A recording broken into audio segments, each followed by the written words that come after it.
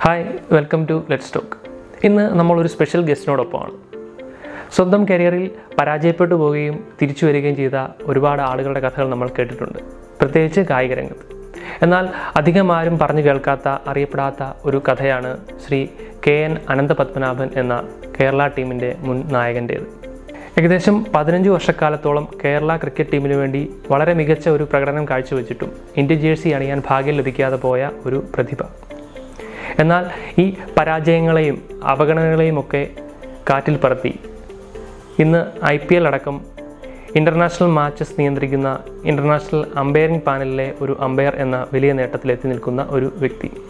Shri K N Anantha പത്മനാഭനാണ് ഇന്ന് നമ്മോടൊപ്പം so let's start the show തീർച്ചയായിട്ടും ഇന്ത്യ കളിക്കണം എന്നുള്ള ഒരു ആഗ്രഹം ഉണ്ടായിരുന്നു. എന്നാൽ എന്റെ എഫേർട്ടിൽ ഞാൻ ഒരു കുറവും വെച്ചിട്ടില്ല എന്നാണ് എനിക്ക് ഞാൻ ഇപ്പോഴും വിശ്വസിക്കുന്നത്. നമ്മുടെ കേരള ടീമിൽ നിന്ന് ഒരാൾ മുകളിലേക്ക് വന്ന് ഈ കണ്ടെത്താൻ. മീൻസ് നമ്മളെ ഒരു സെലക്ടർ നമ്മളെ കാണണമെങ്കിൽ അതിന്റെ ബുദ്ധിമുട്ട് ഭയങ്കരമായിരുന്നു സോ അന്ന് ഞാൻ കളിക്കുന്ന ബോൾ ഞാൻ ചെയ്യുന്ന ബോളിങ്ങോ അല്ലെങ്കിൽ ബാറ്റിങ്ങോ ഫീൽഡിങ്ങോ ഇതൊന്നും കാണാനായിട്ട് നാഷണൽ സെലക്ടേഴ്സിന് ഒരു അത് കിട്ടി ഓപ്പർച്യൂണിറ്റി എനിക്ക് എന്റെ കളി കാണിക്കാനുള്ള ഒരു ഓപ്പർച്യൂണിറ്റി കിട്ടിയിട്ടില്ല. സഞ്ജു സാംസൺ എങ്ങനെയാണ് ബാറ്റ്സ്മാൻ അപ്പൊ എന്റെ എന്റെ ഇതിൽ ഞാനൊന്ന് പറയാണ് സഞ്ജു സാംസൺ ഏറ്റവും അടിപൊളി ബാറ്റ്സ്മാൻ ആണ്. ആ ടൈമിങ്ങും ആ ഫ്ലോ വരുന്ന സമയത്ത് ഇപ്പൊ രോഹിത് ശർമ്മയുടെ ആ സ്റ്റൈൽ ഓഫ് ബാറ്റിംഗ് ആണ്. ചില ഈ ഷോട്ട്സ് ഒക്കെ ഈ മിഡ് വിക്കറ്റിലോട്ട് തട്ടുന്ന ഈ സിക്സ് പോകുന്നതും എഫേർട്ട്ലെസ് ആയിട്ട് അടിക്കുന്ന ആ ഒരു ഒരു ബാറ്റ്സ് അങ്ങനെ ഒരു ബാറ്റ്സ്മാൻ ആയിട്ടാണ് ഞാൻ സഞ്ജുവിനെ കണ്ടിട്ടുള്ളത്. എന്നെ കുറിച്ച് അന്ന് പറഞ്ഞവരെല്ലാവരും കേരളത്തിന്റെ അകത്തുള്ള ആൾക്കാരാണ്. മീൻസ് നല്ലൊരു പ്ലെയർ ആണ് എന്ന് പറഞ്ഞു. നമ്മുടെ മാധ്യമത്തിലെല്ലാം എന്നെ കുറിച്ച് വളരെ നല്ല റിപ്പോർട്ടുകളും എല്ലാം എഴുതിയിട്ടുണ്ടായിരുന്നു. പക്ഷെ ഇത് കേരളത്തിൽ തന്നെ നിന്നുപോയി. നമുക്ക് അന്ന് നമുക്ക് എന്ത് ആ ടൈമിൽ നമുക്ക് എന്ത് തോന്നുന്നു അത് കൊടുത്തിട്ട് അതിൽ ഉറച്ചങ്ങ് നിൽക്കുക. അത് കറക്റ്റ് ആയാലും തെറ്റായാലും നമ്മൾ അതിൽ സ്ട്രോങ് ആയിട്ട് നിൽക്കാനാണ് ഞാൻ മാക്സിമം ട്രൈ ചെയ്യുന്നത്. ആ ഫസ്റ്റ് സീരീസ് മുതൽ റിട്ടയർ ആവുമ്പോൾ മീൻസ് ആ ടൈം വരെ നമ്മൾ ധോണിയിൽ വളരെ റെയർ ആയിട്ടേ ഉള്ളൂ. എന്തെങ്കിലും ഇമോഷൻസ് വെളിയിൽ കാണിക്കുന്ന ഒരു ധോണിയാണ്. ഇൻ കൺട്രോൾ ആണ്. എനിക്ക് മേ ബി അവരെ ഇഷ്ടമല്ല. അല്ലെങ്കിൽ എന്തെങ്കിലും ഞാൻ ട്രിവാൻഡ്രത്തിൽ നിന്നുള്ള ഒരാളെ സപ്പോർട്ട് ചെയ്യുന്നുണ്ടോ? അങ്ങനെ ഒരു തോന്നലും ഉണ്ടാവും സ്വാഭാവികമായിട്ടുണ്ടാവും ആ ടൈമിലല്ല ഈവൻ ഐ പി എല്ലിന്റെ ടൈമിലും ഇടയ്ക്കിങ്ങനെ ഇരിക്കുന്ന സമയത്ത് കുറെ ഈ പഴയ സിനിമകൾ ടി വിയിൽ ഇടുമ്പോഴും കണ്ട സിനിമ തന്നെ ഒരു അഞ്ചാറ് പ്രാവശ്യം കാണുന്നു. അത് ആ ഒരു റിലാക്സേഷൻ ആണ്. തീർച്ചയായിട്ടും സിനിമ ഒരുപാട് സിനിമ ഞാൻ കാണാറുണ്ട്.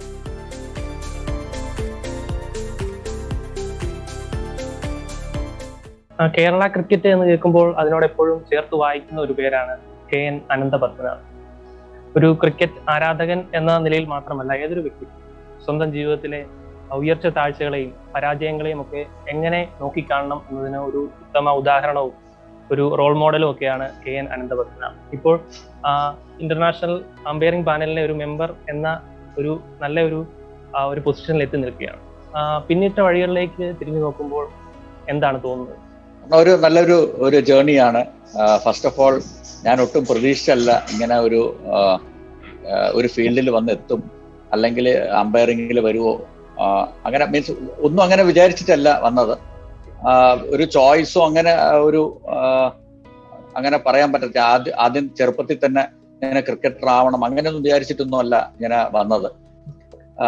ജസ്റ്റ് ഒരു ഫണ്ടിന് വേണ്ടി കളി തുടങ്ങിയതാണ്. പറഞ്ഞാൽ ഈ ക്രിക്കറ്റ് ഗെയിം ഒരു ടീം ഗെയിമാണ് അന്നത്തെ കാലത്ത് നമ്മൾ ഒരുപാട് പിള്ളേരുണ്ട്. അപ്പം ക്രിക്കറ്റോ അല്ലെങ്കിൽ ഫുട്ബോളോ ആവുമ്പം അറ്റ് എ ടൈം ഒരു പത്ത് പതിനഞ്ച് പേർക്ക് കളിക്കാൻ പറ്റും. സോ അങ്ങനെ ഈ കളിയിലോട്ട് വന്നതാണ്. കളിയിലോട്ട് വന്ന് മാറി മാറി വേറെ വേറെ സ്പോർട്ടും കളിക്കുമായിരുന്നു. ഇപ്പൊ ഷട്ടിലൊക്കെ കളിക്കുമ്പോൾ നമുക്ക് നാല് പേര് കളിക്കുമ്പോൾ ബാക്കിയുള്ളവർ നോക്കി നിൽക്കുന്ന ഒരു സിറ്റുവേഷൻ ആണ്. അപ്പൊ അങ്ങനെ വരുന്നതുകൊണ്ടാണ് ക്രിക്കറ്റിലോട്ട് കൂടുതലും വന്നത്. അന്ന് ഫുട്ബോളും ആക്ച്വലി നമ്മുടെ കുറച്ച് പിള്ളേര് ഫുട്ബോളിലോട്ടും കുറച്ച് പിള്ളേര് ക്രിക്കറ്റിലോട്ടും എനിക്ക് ഫിറ്റ്നസ് അത്ര പോരാ അങ്ങനെ മീൻസ് ആ ടൈമിൽ എന്റെ ഫിറ്റ്നസ് ഒട്ടും പോരായിരുന്നു. അപ്പൊ ക്രിക്കറ്റ് ആവുമ്പോൾ വലിയ ഒരു ഫുട്ബോൾ കമ്പയർ ചെയ്യുമ്പോൾ നമുക്ക് അത്ര ഓട്ടവും അത്ര ഒരു ഇത് വേണ്ട.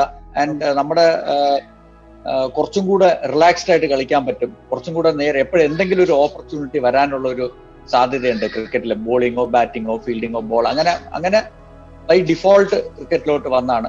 ചേട്ടന്മാരും എന്റെ കൂടെയുള്ള അടുത്ത ഗ്രാമത്തിലുള്ള ഫ്രണ്ട്സും അവരെല്ലാവരും കളിച്ച് അങ്ങനെ ക്ലബിൽ കയറി അന്ന് കളിക്കാനുള്ള ഒരു അവസരം ഉണ്ടായിരുന്നു. അങ്ങനെയാണ് ക്രിക്കറ്റിലോട്ട് വരുന്നത്. സോ ആ ഒരു ജേണി വളരെ മനോഹരമായിട്ടുള്ള ഒരു ജേണി തന്നെയാണ്. എനിക്ക് കാരണം അന്നത്തെ കാലത്തിൽ ഇപ്പൊ എൺപത് കാലഘട്ടത്തിൽ ക്രിക്കറ്റ് എന്ന് പറയുന്ന ഒരു ഗെയിം അത്ര പോപ്പുലർ അല്ല. സോ അന്ന് കളിക്കാൻ പറ്റി അതെ കേരളത്തിന് വേണ്ടി കളിക്കാൻ പറ്റി ഇത്രയും ഒരു ഞാൻ വിചാരിക്കാത്ത ഒരു ലെവലിൽ കളിക്കാൻ പറ്റി.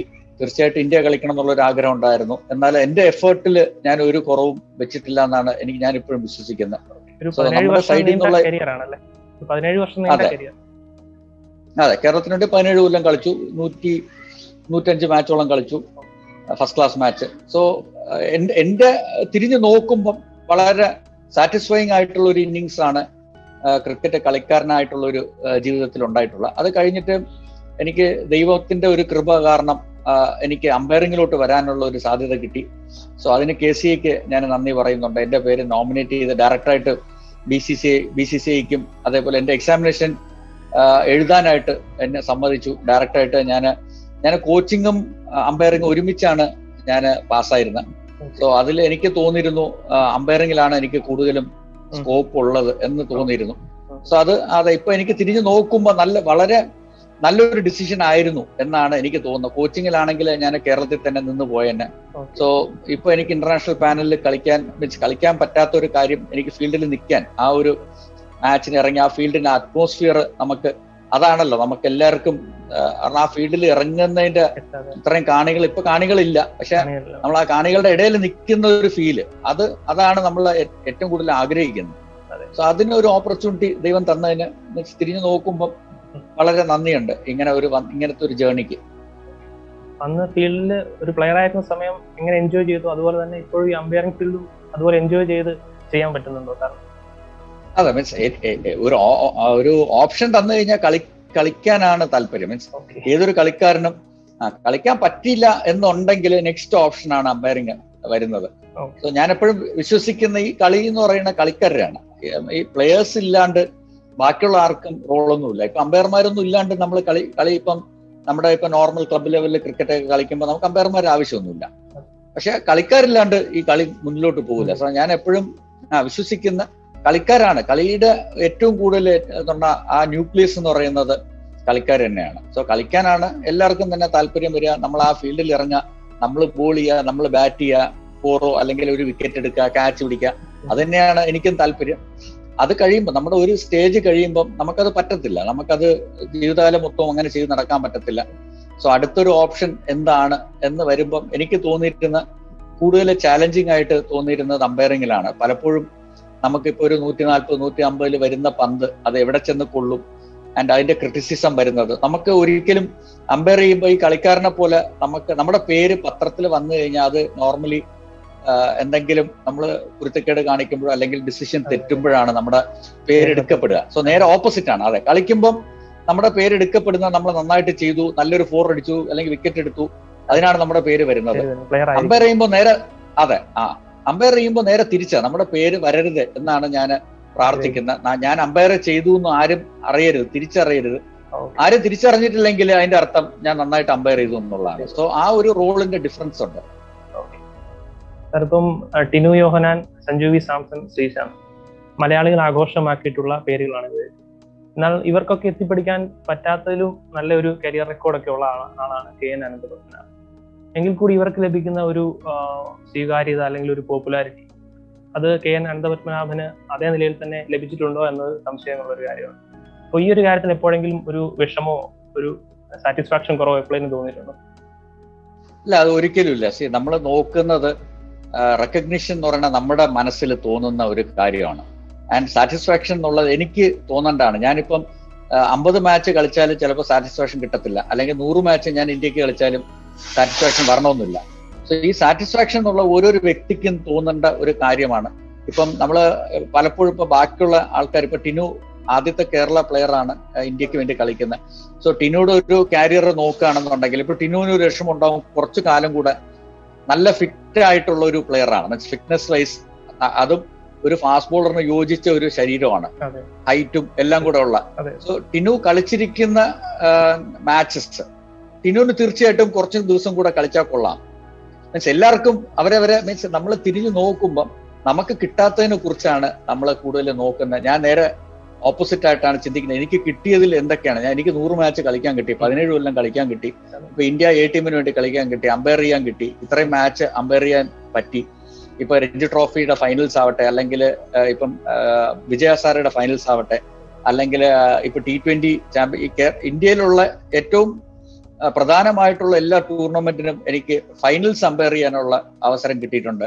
അതേപോലെ ഇപ്പം ദക്ഷിണാഫ്രിക്കയിൽ ഒരു എക്സ്ചേഞ്ച് പ്രോഗ്രാമിന് വിട്ടു. ഇപ്പം I C C elite panel I C C international പാനലിലേക്കുള്ള ഒരു അവസരം കിട്ടി. സോ ഇതൊക്കെ തിരിഞ്ഞു നോക്കുമ്പോൾ ഞാൻ മറ്റ് ആൾക്കാരായിട്ട് കമ്പയർ ചെയ്ത് കഴിഞ്ഞാൽ അത് ഒരിക്കലും മീൻസ് അത് നല്ലൊരു ഒരു കാര്യമല്ല. നമുക്ക് അതിൽ സാറ്റിസ്ഫാക്ഷൻ കിട്ടത്തില്ല. നമുക്ക് നമ്മുടെ കാര്യങ്ങളിൽ കിട്ടുന്നതിലുള്ള സന്തോഷം നമ്മൾ അത് നമ്മുടെ ഉള്ളിലാണ് നമ്മൾ തിരിഞ്ഞു നോക്കേണ്ടത് സോ എനിക്ക് അതിൽ ഒരു തൃപ്തിക്കുറവും ഉണ്ടായിട്ടില്ല. വളരെ വളരെ നന്ദിയുണ്ട് ഇത്രയും കിട്ടിയതിന്. ഇപ്പം ഇന്ത്യൻ ടീമിന് കപിൽ ദേവ് എങ്ങനെയായിരുന്നു? അതുപോലെയാണ് കേരള ക്രിക്കറ്റിന് കെ എൻ അനന്തപത്മ തൊണ്ണൂറ്റിനാലിലെ രഞ്ജി ട്രോഫിയിൽ ആദ്യമായിട്ട് കേരള കേരള ടീം നോക്കൗട്ട് കിടക്കുമ്പോൾ സാറിന്റെ നേതൃത്വത്തിലായിരുന്നു. അപ്പൊ ഇതൊക്കെ എങ്ങനെയാണ്? കേരള ക്രിക്കറ്റിന്റെ ഒരു വളർച്ചയായിട്ട് അതിനൊരു തുടക്കം കുറിച്ച ആളെന്ന നിലയിലല്ലേ ഞങ്ങൾ നോക്കിക്കാണുന്നത് കെ എൻ അനന്തപത്മനാണ് അതാണ്. അപ്പൊ നേരത്തെ സംസാരിച്ച പോലെ മീൻസ് നമ്മൾ ഇപ്പൊ കിട്ടാത്ത പോയതോ ഭാഗ്യം കുറവാണോ അങ്ങനെയുള്ള ഒരു ചോദ്യം വന്നോണ്ട് ഞാൻ പറഞ്ഞു. ഞാൻ കളിച്ചിരിക്കുന്ന ടൈമിൽ എനിക്ക് എന്റെ കൂടെ കളിച്ചിരിക്കുന്ന കേരള കളിക്കാര് കാരണം ഏറ്റവും ബെസ്റ്റ് ടീം ഞാൻ ഞാൻ എന്റെ മനസ്സിൽ നോക്കുകയാണെന്നുണ്ടെങ്കിൽ ആ ഒരു ടൈമിൽ നമ്മളൊരു എൺപത്തി ആറിൽ രമേശിന്റെ ക്യാപ്റ്റൻസിയിൽ നമ്മൾ കേരള ടീം എല്ലാ മാച്ചും സമനിലയിൽ പിടിച്ചു. സോ അത് കഴിഞ്ഞിട്ട് നമുക്ക് എല്ലാവർക്കും ഒരു വിശ്വാസം വന്നു തുടങ്ങുന്ന ഒരു ടൈമായിരുന്നു അപ്പോഴാണ് കുറെ യങ്സ്റ്റേഴ്സ് നമ്മുടെ ടീമിൽ വരുന്നത്. ഇപ്പൊ നാരായണൻകുട്ടി ആവട്ടെ അല്ലെങ്കിൽ ജയകുമാർ ആവട്ടെ പി ടി സുബ്രഹ്മണ്യം ആവട്ടെ ഇപ്പൊ ഞാൻ വരുന്നുണ്ട് അതേപോലെ S S P G Sundar Feroz V Rasheed Ajay Kudva Umbri നമ്മുടെ സുരേഷ് കുമാർ എന്ന് പറഞ്ഞ മീൻസ് ആ ഒരു കാലഘട്ടത്തിൽ നമുക്ക് വന്നിരുന്ന ഇപ്പൊ നാരായണൻകുട്ടി ഏറ്റവും മികച്ച ഒരു ഓപ്പണിംഗ് ബാറ്റ്സ്മാൻ ആയിട്ടുള്ള ഒരു ആരാണ്? ഇപ്പം മാച്ച് ഫ്രീ ആണ് ഇന്റർനാഷണൽ പാനൽ മാച്ച് ഫ്രീ ആണ്. സോ അങ്ങനെ ഒരു നമുക്ക് നല്ലൊരു ശക്തരായിട്ടുള്ള ഒരു ടീമിനെ എനിക്ക് ക്യാപ്റ്റൻ ചെയ്യാൻ പറ്റിയത്. മീൻസ് ആ ഒരു അവസരം കിട്ടിയതുകൊണ്ടാണ് നമ്മൾ ആ ആ ടൈമിൽ ഏതൊരു വ്യക്തി ക്യാപ്റ്റൻ ആണെങ്കിലും ആ ടീം ജയിച്ചിട്ടുണ്ടാവും. എന്റെ എന്റെ മനസ്സിൽ അങ്ങനെയാണ് ഞാൻ നോക്കുന്നത്. എനിക്ക് ആ ഒരു ഒരു ഓപ്പർച്യൂണിറ്റി ദൈവം തന്നു. സോ എന്റെ പേരിലാണ് അങ്ങനെ വന്ന് വീണുപോയത്. കാരണം എന്റെ ക്യാപ്റ്റൻസിയിൽ ആദ്യമായിട്ട് നമ്മൾ ക്വാളിഫൈ ചെയ്തു എന്നുള്ള പക്ഷെ അതിന്റെ ക്രെഡിറ്റ് ടീമിന് തന്നെയാണ്. കേട്ടിട്ടുള്ള കഥ കൂടിയാണ് സാർ ഒരു നല്ലൊരു ഇഞ്ചുറിയും കൂടെ വെച്ചിട്ടാണ് ആ മാച്ച് കംപ്ലീറ്റ് ചെയ്തത്. നയന്റി ഫോറിലെ നോക്കൗട്ട് മാച്ച് അതെ നമ്മൾ അതിന്റെ അതിന്റെ ആ തമിഴ്നാടായിട്ട് നമ്മൾ കളിക്കുമ്പോഴാണ് പാലക്കാട് വിക്ടോറിയ കോളേജിലാണ് നമ്മൾ ക്വാളിഫൈ ചെയ്യുന്നത്. അതിന്റെ മുമ്പിലത്തെ മാച്ച് കളിച്ചു കഴിഞ്ഞാൽ എന്റെ ഷോൾഡർ പൊക്കാൻ പറ്റാത്ത ഒരു ഒരു അവസ്ഥയിലായിരുന്നു. എന്നിട്ട് ആ മാച്ച് എങ്ങനെങ്കിലും കളിക്കാം എന്നുള്ള രീതിയിലാണ് ഇറങ്ങിയത്. ബാറ്റിംഗിൽ ഫസ്റ്റ് ഇന്നിങ്സിൽ ഒരു ഇരുപത്തഞ്ച് റൺ അടിച്ചു. പക്ഷെ ബോൾ ചെയ്യാൻ ഒരു മൂന്ന് ഓവർ ട്രൈ ചെയ്തു. ആദ്യത്തെ ഇന്നിങ്സിൽ എറിയാൻ മൂന്ന് ഓവർ ട്രൈ ചെയ്തു. പക്ഷെ ഭയങ്കര പെയിൻ കൈ പൊക്കാൻ തന്നെ വേദന ഉണ്ടായിരുന്നു. സോ അത് കഴിഞ്ഞിട്ട് സെക്കൻഡ് ഇന്നിങ്സിൽ ബാറ്റ് ചെയ്ത്. അവസാനം പി ജി സുന്ദർ തൊണ്ണൂറിൽ മറ്റേ ബാറ്റ് ചെയ്യുമ്പോൾ സെഞ്ചുറി അടിക്കാൻ വേണ്ടിയിട്ട് എനിക്ക് റൈറ്റ് ഹാൻഡ് ഇട്ട് ഒന്നും ചെയ്യാൻ വയ്യ. അപ്പം ലെഫ്റ്റ് ഹാൻഡ് ഇട്ടിട്ട് ഞാൻ കുറച്ചു നേരം അങ്ങ് നിന്ന് കൊടുത്തു. സുന്ദർ സെഞ്ചുറി അടിക്കുകയും ചെയ്തു. ഞാൻ കണ്ടിട്ടുള്ള one of the best innings ആണ് കേരള ടീമിന് വേണ്ടി കളിച്ചിരുന്ന. സോ അത് കഴിഞ്ഞിട്ടുള്ള സുരേഷ് കുമാറിന്റെ ബോളിംഗ് പറഞ്ഞാൽ നമ്മുടെ ടീമും സുരേഷ് കുമാർ ഫസ്റ്റ് ഇന്നിങ്സിൽ ആറ് വിക്കറ്റ് എടുത്തു സെക്കൻഡ് ഇന്നിങ്സിൽ ആറ് വിക്കറ്റ് എടുത്തു.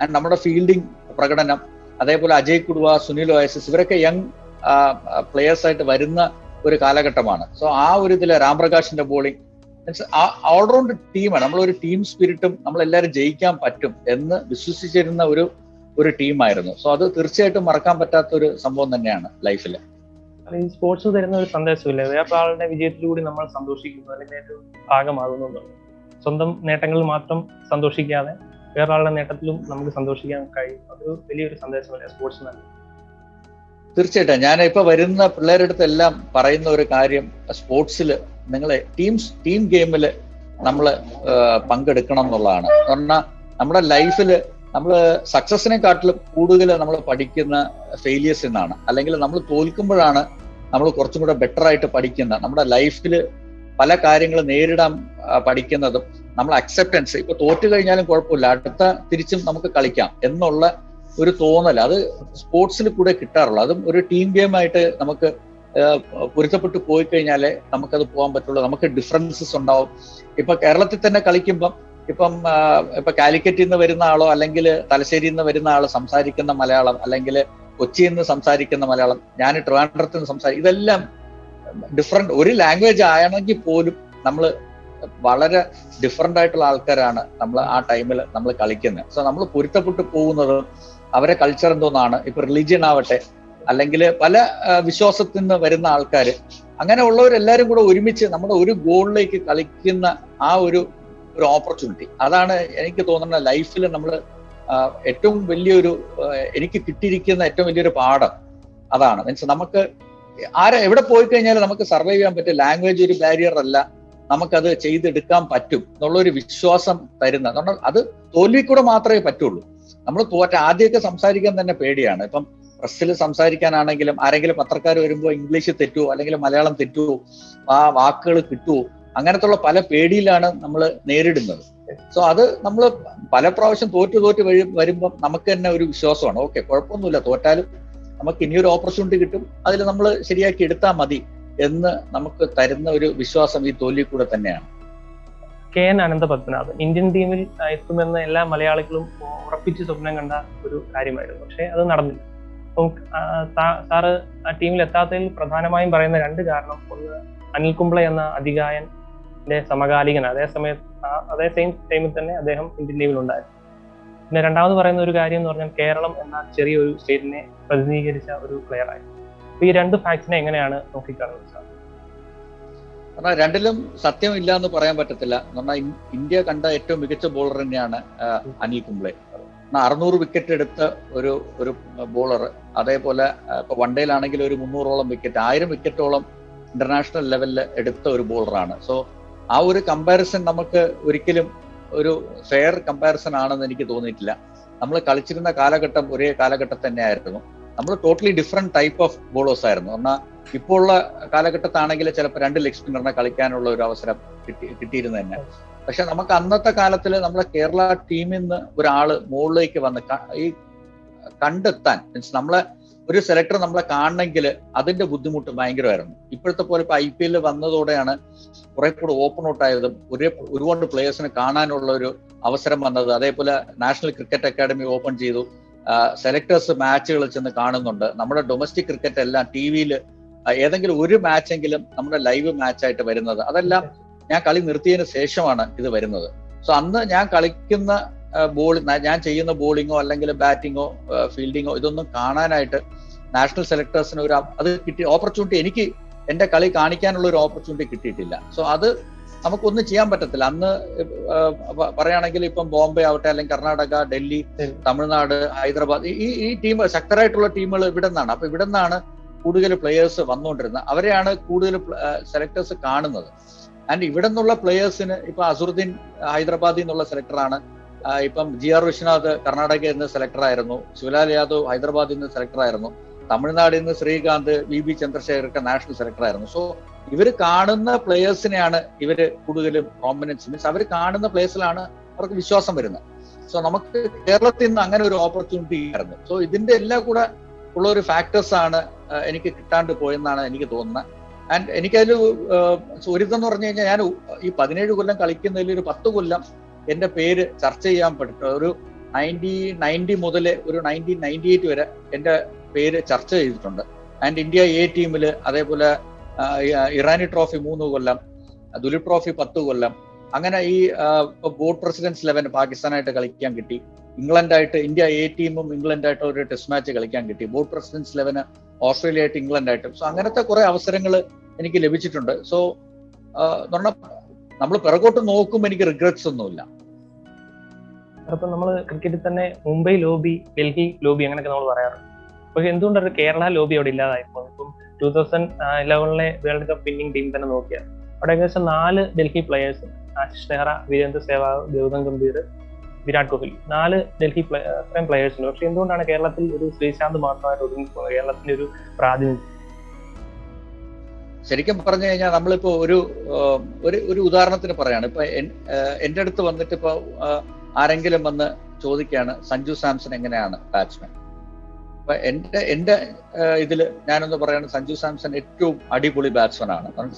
ആ ടൈമിങ്ങും ആ ഫ്ലോ വരുന്ന സമയത്ത് ഇപ്പൊ രോഹിത് ശർമ്മയുടെ ആ സ്റ്റൈൽ ഓഫ് ബാറ്റിംഗ് ആണ്. ചില ഈ ഷോട്ട്സ് ഒക്കെ ഈ മിഡ് വിക്കറ്റിലോട്ട് തട്ടുന്ന ഈ സിക്സ് പോകുന്നതും എഫേർട്ട്ലെസ് ആയിട്ട് അടിക്കുന്ന ആ ഒരു ഒരു ബാറ്റ്സ് അങ്ങനെ ഒരു ബാറ്റ്സ്മാൻ ആയിട്ടാണ് ഞാൻ സഞ്ജുവിനെ കണ്ടിട്ടുള്ളത് പക്ഷെ ഇപ്പൊ നമ്മൾ നോക്കുകയാണ് ഇപ്പൊ സഞ്ജുവിനെ വേറെ ആരും കാണുന്നില്ല. ഞാൻ മാത്രമേ കാണുന്നുള്ളൂ. ഇപ്പൊ ഞാൻ വന്നിട്ട് പറയാണ് പത്രത്തിലോ അല്ലെങ്കിൽ ടി വിയിലോ മാധ്യമത്തിലോ നിങ്ങളുടെ അടുത്തോ ആരെങ്കിലും പറയുന്നുണ്ട്. പക്ഷെ അതേ സമയത്തിൽ ഇപ്പം സുനിൽ ഗവാസ്കർ അല്ലെങ്കിൽ ടെണ്ടുൽക്കർ ഇവർ ആരെങ്കിലും വന്ന് പറയാണ് ശ്രേയസ് അയ്യർ അടിപൊളിയാണ്. അല്ലെങ്കിൽ വിരാട് കോഹ്ലി വന്ന് പറയാണ് ഋഷഭ് പന്ത് എക്സലന്റ് ബാറ്റ്സ്മാൻ ആണ്. അല്ലെങ്കിൽ മീൻസ് അയാളുടെ ടാലന്റ് അൺബിലീവബിൾ ടാലന്റ് ആണ് ഹിറ്റിംഗ് എബിലിറ്റി ഭയങ്കരമാണ്. സോ ഇത് പറയുമ്പോൾ ഇപ്പൊ ബോംബെയിൽ നിന്ന് ഗവാസ്കറോ ടെൻഡുൽക്കറോ പറയുന്നുണ്ട്. ഇപ്പൊ ഡൽഹിയിൽ നിന്ന് വിരാട് കോഹ്ലിയോ അല്ലെങ്കിൽ ഷേവാഗോ അങ്ങനത്തെ അല്ലെങ്കിൽ ബിഷൻ സിംഗ് ബേഡിയോ ഇങ്ങനത്തെ ഒരാൾ പറയുന്നതും ഇപ്പൊ കേരളത്തിൽ നിന്ന് ഞാൻ പറയുന്ന ഒരു വാക്കിന് ഇതിൽ ആർക്ക് പറയുന്നതായിരിക്കും ഒരു എഫക്റ്റ് ഉണ്ടാവുക.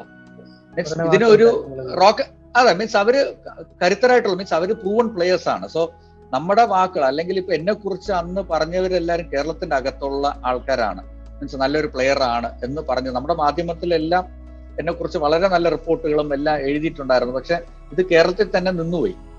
സോ ഇതിന്റെ വില പുറത്തു പോകണമെന്നുണ്ടെങ്കിൽ അന്ന് കേരളത്തിൽ വേറെ ആരുമില്ല. എന്ത് ചെയ്യാം? നമുക്ക് ഇതിനെ കുറിച്ച് വേറെ ഒന്നും പറയാനൊന്നുമില്ല. മീൻസ് അതിലിപ്പോ ശ്രീശാന്ത് പുറത്ത് മീൻസ് കളിച്ച് വന്നത് ഇപ്പൊ എം ആർ ഫൗണ്ടേഷനിൽ നമ്മൾ അങ്ങനെ ഒരു ഓപ്പർച്യൂണിറ്റി കിട്ടി ടിനുവിനും അങ്ങനെ ഒരു ഓപ്പർച്യൂണിറ്റി കിട്ടി. അങ്ങനെ വരുമ്പോഴാണ് അടുത്ത. ഇപ്പൊ സഞ്ജുവിന് ഇപ്പൊ ഐ പി എൽ ഇല്ലെങ്കിൽ എനിക്ക് തോന്നുന്നില്ല സഞ്ജുവിന് ഈ ഒരു ഓപ്പർച്യൂണിറ്റി കിട്ടുമെന്ന്. ഇത് തീർച്ചയായിട്ടും കിട്ടിക്കാണത്തില്ല. സോ ഈ ഐ പി എൽ ഉള്ളതുകൊണ്ടാണ് സഞ്ജുവിന് ഓപ്പർച്യൂണിറ്റി കിട്ടുന്നത്. സോ അതേപോലെ തന്നെയാണ് ഇപ്പൊ സന്ദീപ് വാര്യർ ആവട്ടെ ബേസിൽ തമ്പി ആവട്ടെ പല ഇപ്പൊ വിഷ്ണു വിനോദ് ആവട്ടെ നമ്മുടെ പല പ്ലേയേഴ്സിനും ഇപ്പൊ ഐ പി എല്ലിൽ ഒരു ഓപ്പർച്യൂണിറ്റി കിട്ടുന്നുണ്ട്. സോ ആ ഒരു ഓപ്പർച്യൂണിറ്റി അവർ നന്നായിട്ട് യൂസ് ചെയ്യുകയാണെന്നുണ്ടെങ്കിൽ അവർക്ക് മുകളിലോട്ട് വരാനുള്ള അവസരമുണ്ട്. കാരണം പലപ്പോഴും ഒരു മലയാളി പ്ലെയർ അവർക്ക് പ്രൂവ് ചെയ്യാൻ ഏകദേശം ഒരു ഒന്നോ രണ്ടോ മാറ്റസേ കിട്ടാറുള്ളൂ. ഇപ്പം വേറെ പല പ്ലെയേഴ്സിനും ഇപ്പൊ ശിവൻ ദൂബെ അല്ലെങ്കിൽ വിജയ് ശങ്കർ ഒക്കെ ആണെങ്കിൽ അവർക്ക് ഇന്ത്യൻ ടീമിനകത്ത് വന്നിട്ട് അവർക്ക് പ്രൂവ് ചെയ്യാൻ ഒരുപാട് ഓപ്പർച്യൂണിറ്റീസ് കിട്ടും. അത് വെച്ച് നോക്കുമ്പോൾ സഞ്ജു സാംസൺ എന്ന് പറഞ്ഞാൽ അദ്ദേഹത്തിന് ഒരു എന്താ നീതീകരിക്കാനാവുന്ന തരത്തിലൊരു ഓപ്പർച്യൂണിറ്റി കിട്ടിയെന്ന് നമുക്ക് പറയാൻ പറ്റും. തീർച്ചയായിട്ടും. എന്റെ എന്റെ നമ്മളിപ്പം പറയുമ്പോൾ നമ്മുടെ ആൾക്കാര് നമുക്ക് എത്രത്തോളം സ്നേഹമുണ്ടോ അതേപോലെ തന്നെയാണ് ഇപ്പം ഈ കോമ്പറ്റീഷൻ ലെവൽ എന്ന് പറഞ്ഞ് വരുമ്പം ആ ടൈമിൽ ഒരു ക്യാപ്റ്റന്റെ ഡിസിഷനാണ്. ഇപ്പൊ ഞാനിപ്പോ കേരള ടീമിൽ ഞാൻ കളിച്ചിരുന്ന സമയത്ത് ഞാൻ ഇറങ്ങുമ്പോൾ തന്നെ നാല് ശത്രുക്കളായിട്ടാണ് ഞാൻ ടീമിൽ ഒരു നമ്മുടെ ഒരു ഫീൽഡിൽ ഇറങ്ങുമ്പോൾ കാരണം പതിനൊന്ന് പേരെ ഞാൻ സെലക്ട് ചെയ്യുന്നുണ്ട്. നാല് പേരെ മാറ്റി ഇരുത്തിയാലേ പറ്റുള്ളൂ. മാറ്റി ഇരുത്തിയാലേ പറ്റുള്ളൂ. അപ്പൊ ഞാൻ ടീമിൽ ഞാനൊരു ക്യാപ്റ്റനായിട്ട് വരുമ്പോൾ ഞാനൊരു ഡിസിഷൻ എടുക്കുമ്പോൾ ഞാനൊരു നാല് ശത്രുക്കളായിട്ടാണ് ഞാൻ ടീമിൽ ഇറങ്ങുന്നത് ബാക്കിയുള്ള പത്ത് പേരും അവർ വിശ്വസിക്കുന്ന അതാണ് സത്യം. മീൻസ് അവർ ഡിസേർവിങ് ആണ്. അതുകൊണ്ടാണ്. അല്ലെങ്കിൽ എനിക്ക് സ്നേഹമുള്ളതുകൊണ്ടല്ല ഞാൻ എടുക്കുന്നത്. എനിക്ക് അതേപോലെ ഇപ്പൊ നാലുപേരെ മാറ്റിയിരുത്തുന്നത് എനിക്ക് സ്നേഹം ഇല്ലാത്തതുകൊണ്ടും അല്ല പക്ഷെ ഈ നാലു പേർക്ക് തോന്നുന്നത് എനിക്ക് മേ ബി അവരെ ഇഷ്ടമല്ല. അല്ലെങ്കിൽ എന്തെങ്കിലും ഞാൻ ട്രിവാൻഡ്രത്തിൽ നിന്നുള്ള ഒരാളെ സപ്പോർട്ട് ചെയ്യുന്നുണ്ടോ? അങ്ങനെ ഒരു തോന്നലും ഉണ്ടാവും സ്വാഭാവികമായിട്ടുണ്ടാവും എനിക്ക് ആരാണ് പെർഫോം ചെയ്യും എന്നുള്ള ഒരു കോൺഫിഡൻസ് സോ ആ കോൺഫിഡൻസ് ആണ് കംപ്ലീറ്റ് തീരുമാനിക്കുന്നത് ഇപ്പം നമ്മൾ എത്ര എത്രത്തോളം ഒരു പ്ലെയർ ഞാൻ നേരത്തെ പറഞ്ഞ പോലെ ഇപ്പം ടെണ്ടുൽക്കറോ അല്ലെങ്കിൽ വിരാട് കോഹ്ലിയോ ഇവരൊക്കെ ഋഷഭ് പന്തിനെ കൂടുതൽ കാണുന്നുണ്ട്. അല്ലെങ്കിൽ ഇപ്പൊ ശ്രേയസ് അയ്യറിനെ കൂടുതൽ കാണുന്നുണ്ട്. അല്ലെങ്കിൽ കെ എൽ രാഹുലിനെ കൂടുതൽ കാണുന്നുണ്ട്. സോ കാണുന്ന പ്ലേയേഴ്സിനെ അവർക്ക് കൂടുതൽ അവൻ പെർഫോം ചെയ്യും എന്നുള്ള ഒരു തോന്നൽ അല്ലെങ്കിൽ ഒരു വിശ്വാസം. സോ അവർക്ക് ഓബ്വിയസ്ലി അവർക്ക് ഓട്ടോമാറ്റിക്കായിട്ട് അവർക്ക് ഒരു എക്സ്ട്രാ ചാൻസ് കിട്ടിപ്പോകും പറഞ്ഞാൽ ഇവർക്ക് ആദ്യം മനസ്സിൽ ഒരു ഇംപ്രഷൻ വന്നു. ഇവൻ ഉഗ്രം പ്ലെയർ ആണ്. സഞ്ജുയുടെ കേസിൽ കാണുന്നത് കാണാത്തൊരു എന്റിറ്റിയാണ് നമുക്കറിയാം സഞ്ജു എന്ത് ചെയ്യുന്നുള്ള പക്ഷെ അവർക്ക് രണ്ട് മാച്ച് മൂന്ന് മാച്ച് കൊടുക്കുമ്പോൾ റൺ അടിക്കാണ്ട് വരുമ്പോൾ അവർക്ക് തോന്നുന്നു എന്നാ പിന്നെ ഇവന് തന്നെ കൊടുക്കാം. എന്ന അങ്ങനത്തെ ഒരു പ്രശ്നം വരുന്നതിലാണ്. ഇതിൽ ഒരു സംശയവുമില്ല ഇപ്പൊ നമ്മൾ എടുത്ത ഈ അവസരങ്ങൾ കൊടുത്ത് നോക്കിക്കഴിഞ്ഞാൽ സഞ്ജുവിന് കിട്ടിയ അവസരം പോരാ തീർച്ചയായിട്ടും. ചിലപ്പം കെ എൻ അനന്തപത്മനാഭൻ എന്ന ഒരു പ്ലെയറിലേക്ക് പിന്നെയും തിരിച്ചു വരുമ്പോൾ ഒരുപാട് ലെജൻഡറി പ്ലെയേഴ്സിനെതിരെ ബൗൾ ചെയ്യാനും അവർക്കൊപ്പം കളിക്കാനും ഒക്കെ സാധിച്ച ഒരാളാണ്. അപ്പോൾ നമുക്ക് ഓസ്ട്രേലിയക്കെതിരെ കളിക്കുമ്പോൾ ബോർഡ് പ്രസിഡന്റ് ഇലവനോട് കളിക്കുമ്പോഴാണെങ്കിൽ സ്റ്റീവോ റെക്കിപ്പോണ്ടിങ് ഡാരൻ ലേമ. പാകിസ്ഥാനെതിരെ കൊച്ചിയിൽ കളിക്കുമ്പോൾ ആണെങ്കിൽ ഒരുപാട് ലെജൻഡറി പ്ലേയേഴ്സ് സയ്യിദ് അൻവർ ഇൻസാം ഉൾഖ് ഉൾഹക് മോയിൻ മോയിൻ ഖാൻ ഇങ്ങനെയുള്ള ഒരുപാട് ലെജൻഡറി പ്ലേയേഴ്സിനെയൊക്കെ വിക്കറ്റ് എടുക്കാൻ സാധിച്ചു. അപ്പം ഇങ്ങനെയുള്ള എക്സ്പീരിയൻസ് ഇതൊക്കെ എങ്ങനെയാണ് കാണുന്നത്? നമുക്ക് അന്നത്തെ ഇതിൽ നമ്മൾ ഓരോരോ മാച്ച് കളിക്കുമ്പോഴും നമുക്കൊരു ഒരു ഫീലിംഗ് ആണ് നമുക്ക് ഈ മാച്ചിൽ പെർഫോം ചെയ്ത് കഴിഞ്ഞാൽ നമുക്ക് ഇന്ത്യൻ ടീമിൽ ഒരു അവസരം കിട്ടും എന്നുള്ള സോ ആ മാക്സിമം എഫേർട്ട് നമ്മൾ അങ്ങ് ഇടുകയാണ്. ആ മാച്ചിൽ ഇടുന്ന സമയത്ത് ഓരോ വിക്കറ്റ് എടുക്കുമ്പോഴും ആൻഡ് അവിടെ നമുക്ക് ഇപ്പൊ പ്ലേയേഴ്സിന് തീർച്ചയായിട്ടും പറഞ്ഞാൽ ഇവരെല്ലാവരും ലെജൻഡ് ഇപ്പം ഇൻസമാമുൾ അക്കാവട്ടെ അല്ലെങ്കിൽ മുഹമ്മദ് യൂസഫ് ആവട്ടെ അല്ലെങ്കിൽ മൊയിൻ ഖാൻ ആവട്ടെ അല്ലെങ്കിൽ സയ്യിദ് അന്നവർ ആവട്ടെ അല്ലെങ്കിൽ റിക്കി പോണ്ടിങ്ങോ ലേമാനോ അല്ലെങ്കിൽ സ്റ്റീവോ ഇവരെല്ലാവരും ലെജൻഡറി പ്ലേയേഴ്സ് ആണ്. അതേപോലെ തന്നെ അവരെയും കാട്ടിലും ആ, ആ, ബുദ്ധിമുട്ടുള്ള പ്ലേയേഴ്സ് നമ്മുടെ ഇന്ത്യൻ പ്ലേയേഴ്സിനെ ബോൾ ചെയ്യാനാണ്. അവർക്ക് മീൻസ് ഇവർക്കൊക്കെ ആണെങ്കിൽ അറ്റ്ലീസ്റ്റ് ഞാൻ എന്ത് ബോൾ ചെയ്യുന്നുള്ള അറിഞ്ഞുകൂടാ. സോ ആദ്യത്തെ നമുക്ക് കുറച്ച് നേരത്തേക്ക് അവർക്ക് ഞാൻ എന്തോന്നാണെന്ന് അറിയണതിന് മുമ്പ് നമുക്ക് ഒരു അഞ്ചാറ് ഓവർ എറിഞ്ഞു പോവാം. പക്ഷെ നമ്മുടെ ഇന്ത്യൻ പ്ലേയേഴ്സിന്റെ അടുത്ത് അങ്ങനെയല്ല. അവർക്ക് ആദ്യം തന്നെ അറിയാം ഞാൻ എന്തെറിയും എന്തൊക്കെയാണ്.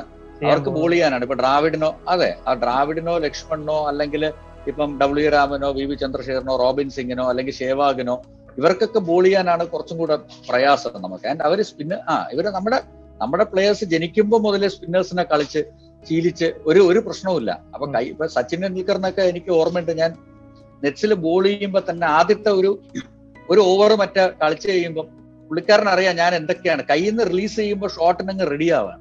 കാരണം ആ ഒരു കാലഘട്ടം ഒരു നയന്റി ടു നയന്റി ത്രീ മുതൽ ഒരു നയന്റി സെവൻ വരെ ശരിക്കും പറഞ്ഞാൽ സച്ചിന് ബോൾ ചെയ്യാനേ പറ്റത്തില്ല. കാരണം അങ്ങനത്തെ ഒരു ബാറ്റിംഗ് ഞാൻ ഇതുവരെ അങ്ങനെ കണ്ടിട്ടില്ല. നമ്മൾ ആദ്യമായിട്ട് കാണുമ്പോൾ ആ ഒരു സെപ്പറേറ്റ് ലെവലാണ് അതുകൊണ്ട് ഒരു നമുക്ക് എനിക്ക് എനിക്ക് പലപ്പോഴും തോന്നിയിട്ടുള്ള തോന്നിയിട്ടുള്ള ഒരു കാര്യം എനിക്ക് മാച്ചിന് സച്ചിന് ബോൾ ചെയ്യാനുള്ള ഒരു അവസരം കിട്ടാത്തത്. മീൻസ് അന്നത്തെ കാലത്തിൽ നമുക്ക് ബോൾ ഇപ്പൊ ആറ് സിക്സ് അടിച്ചാൽ നമുക്ക് നഷ്ടപ്പെടാനൊന്നുമില്ല. നമുക്ക് ടെൻഷൻ ഒന്നും വേണ്ട. ടെണ്ടുൽക്കർ പറഞ്ഞ ഷെയ്ൻ വോണയും ആരെ നിലം കുത്താണ്ട് അടിച്ചു നിൽക്കുന്ന ഒരു ടൈമാണ് നമുക്ക് നഷ്ടപ്പെടാനൊന്നുമില്ല.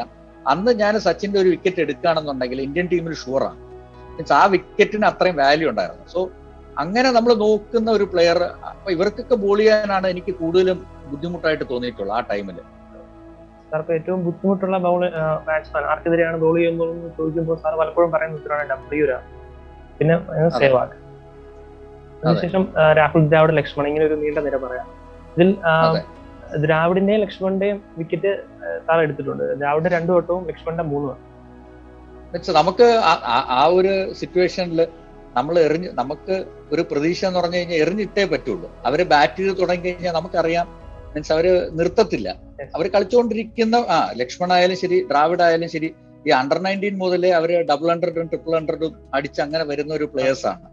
സോ ആൻഡ് നമുക്ക് കളി അവരെ കളിപ്പിച്ച് കഴിഞ്ഞാൽ ആദ്യത്തെ കുറച്ച് നേരം ഒരു ഇരുപത് റണ്ണ് മുപ്പത് റൺ അടിച്ചു കഴിഞ്ഞാൽ പിന്നെ അവരെ ഔട്ടാക്കാനുള്ള ഒരു ചാലഞ്ച് എന്ന് പറഞ്ഞാൽ നമ്മൾ എറിഞ്ഞുകൊണ്ടിരിക്കുകയാണ് ഹോപ്പ് അഗെയിൻസ്റ്റ് ഹോപ്പാണ് സോ അങ്ങനത്തെ ഒരു ഇതിലാണ് നമ്മൾ എറിയുന്നത് ആ അവർക്ക് റണ്ണ് കൊടുക്കാണ്ട് റണ്ണ് കൊടുക്കാണ്ട് റണ്ണ് കൊടുക്കാണ്ട് അവരെ ഫ്രസ്ട്രേറ്റ് ചെയ്തിട്ട് ആൻഡ് അവരുടെ പേഷ്യൻസ് നമുക്കറിയാം. കാരണം നമ്മളെക്കാട്ടിലും ഒരു പത്ത് മടങ്ങ് പേഷ്യൻസ് ഉള്ള ബാറ്റ്സ്മാരാണ്. സോ അവരെ ബോളി നമുക്ക് വിക്കറ്റ് എടുക്കുമ്പോൾ അതിന്റെ സാറ്റിസ്ഫാക്ഷൻ ഭയങ്കര ഒരു സാറ്റിസ്ഫാക്ഷൻ ആണ്. അതേപോലെ ഷേവാഗിന്റെ നേരെ തിരിച്ചാണ്. ഷേവാഗിന്റെ എന്ന് പറഞ്ഞു കഴിഞ്ഞാൽ ഷേവാഗ് നമ്മൾ എല്ലാ ബോളും ഫോറോ സിക്സോ അടിക്കണം എന്ന് മനസ്സിൽ വെച്ചുകൊണ്ട് വരുന്ന ഒരു പ്ലേ കുറച്ച് ഒരു ഇഞ്ച് അങ്ങോട്ടും ഇങ്ങോട്ടും മാറി അടിക്കുകയും ചെയ്യും. സോ അതിന്റെ ചാലഞ്ച് അതെ അതിന്റെ ചാലഞ്ച് ടോട്ടലി വേറെയാണ്. അതുകൊണ്ട് നമുക്ക് പ്രഷറിൽ വരുമ്പോഴാണ് നമുക്ക് ആ, ആ സ്ഥലത്ത് വീഴത്തില്ല.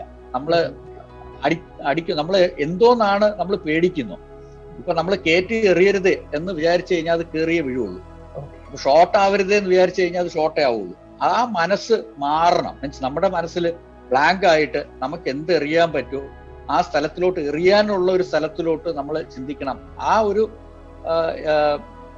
ചെറിയ ചെറിയ പാഠങ്ങൾ ഞാൻ പറഞ്ഞില്ലേ നേരത്തെ നമ്മൾ ഫെയിലിയറിലൂടെ ഒരു രണ്ട് സിക്സും മൂന്ന് സിക്സും പോകുമ്പോഴാണ് നമ്മൾ പഠിക്കുന്നത് രാമൻ എന്നെ ഒരു മാച്ചിൽ എട്ട് സിക്സ് അടിച്ചു.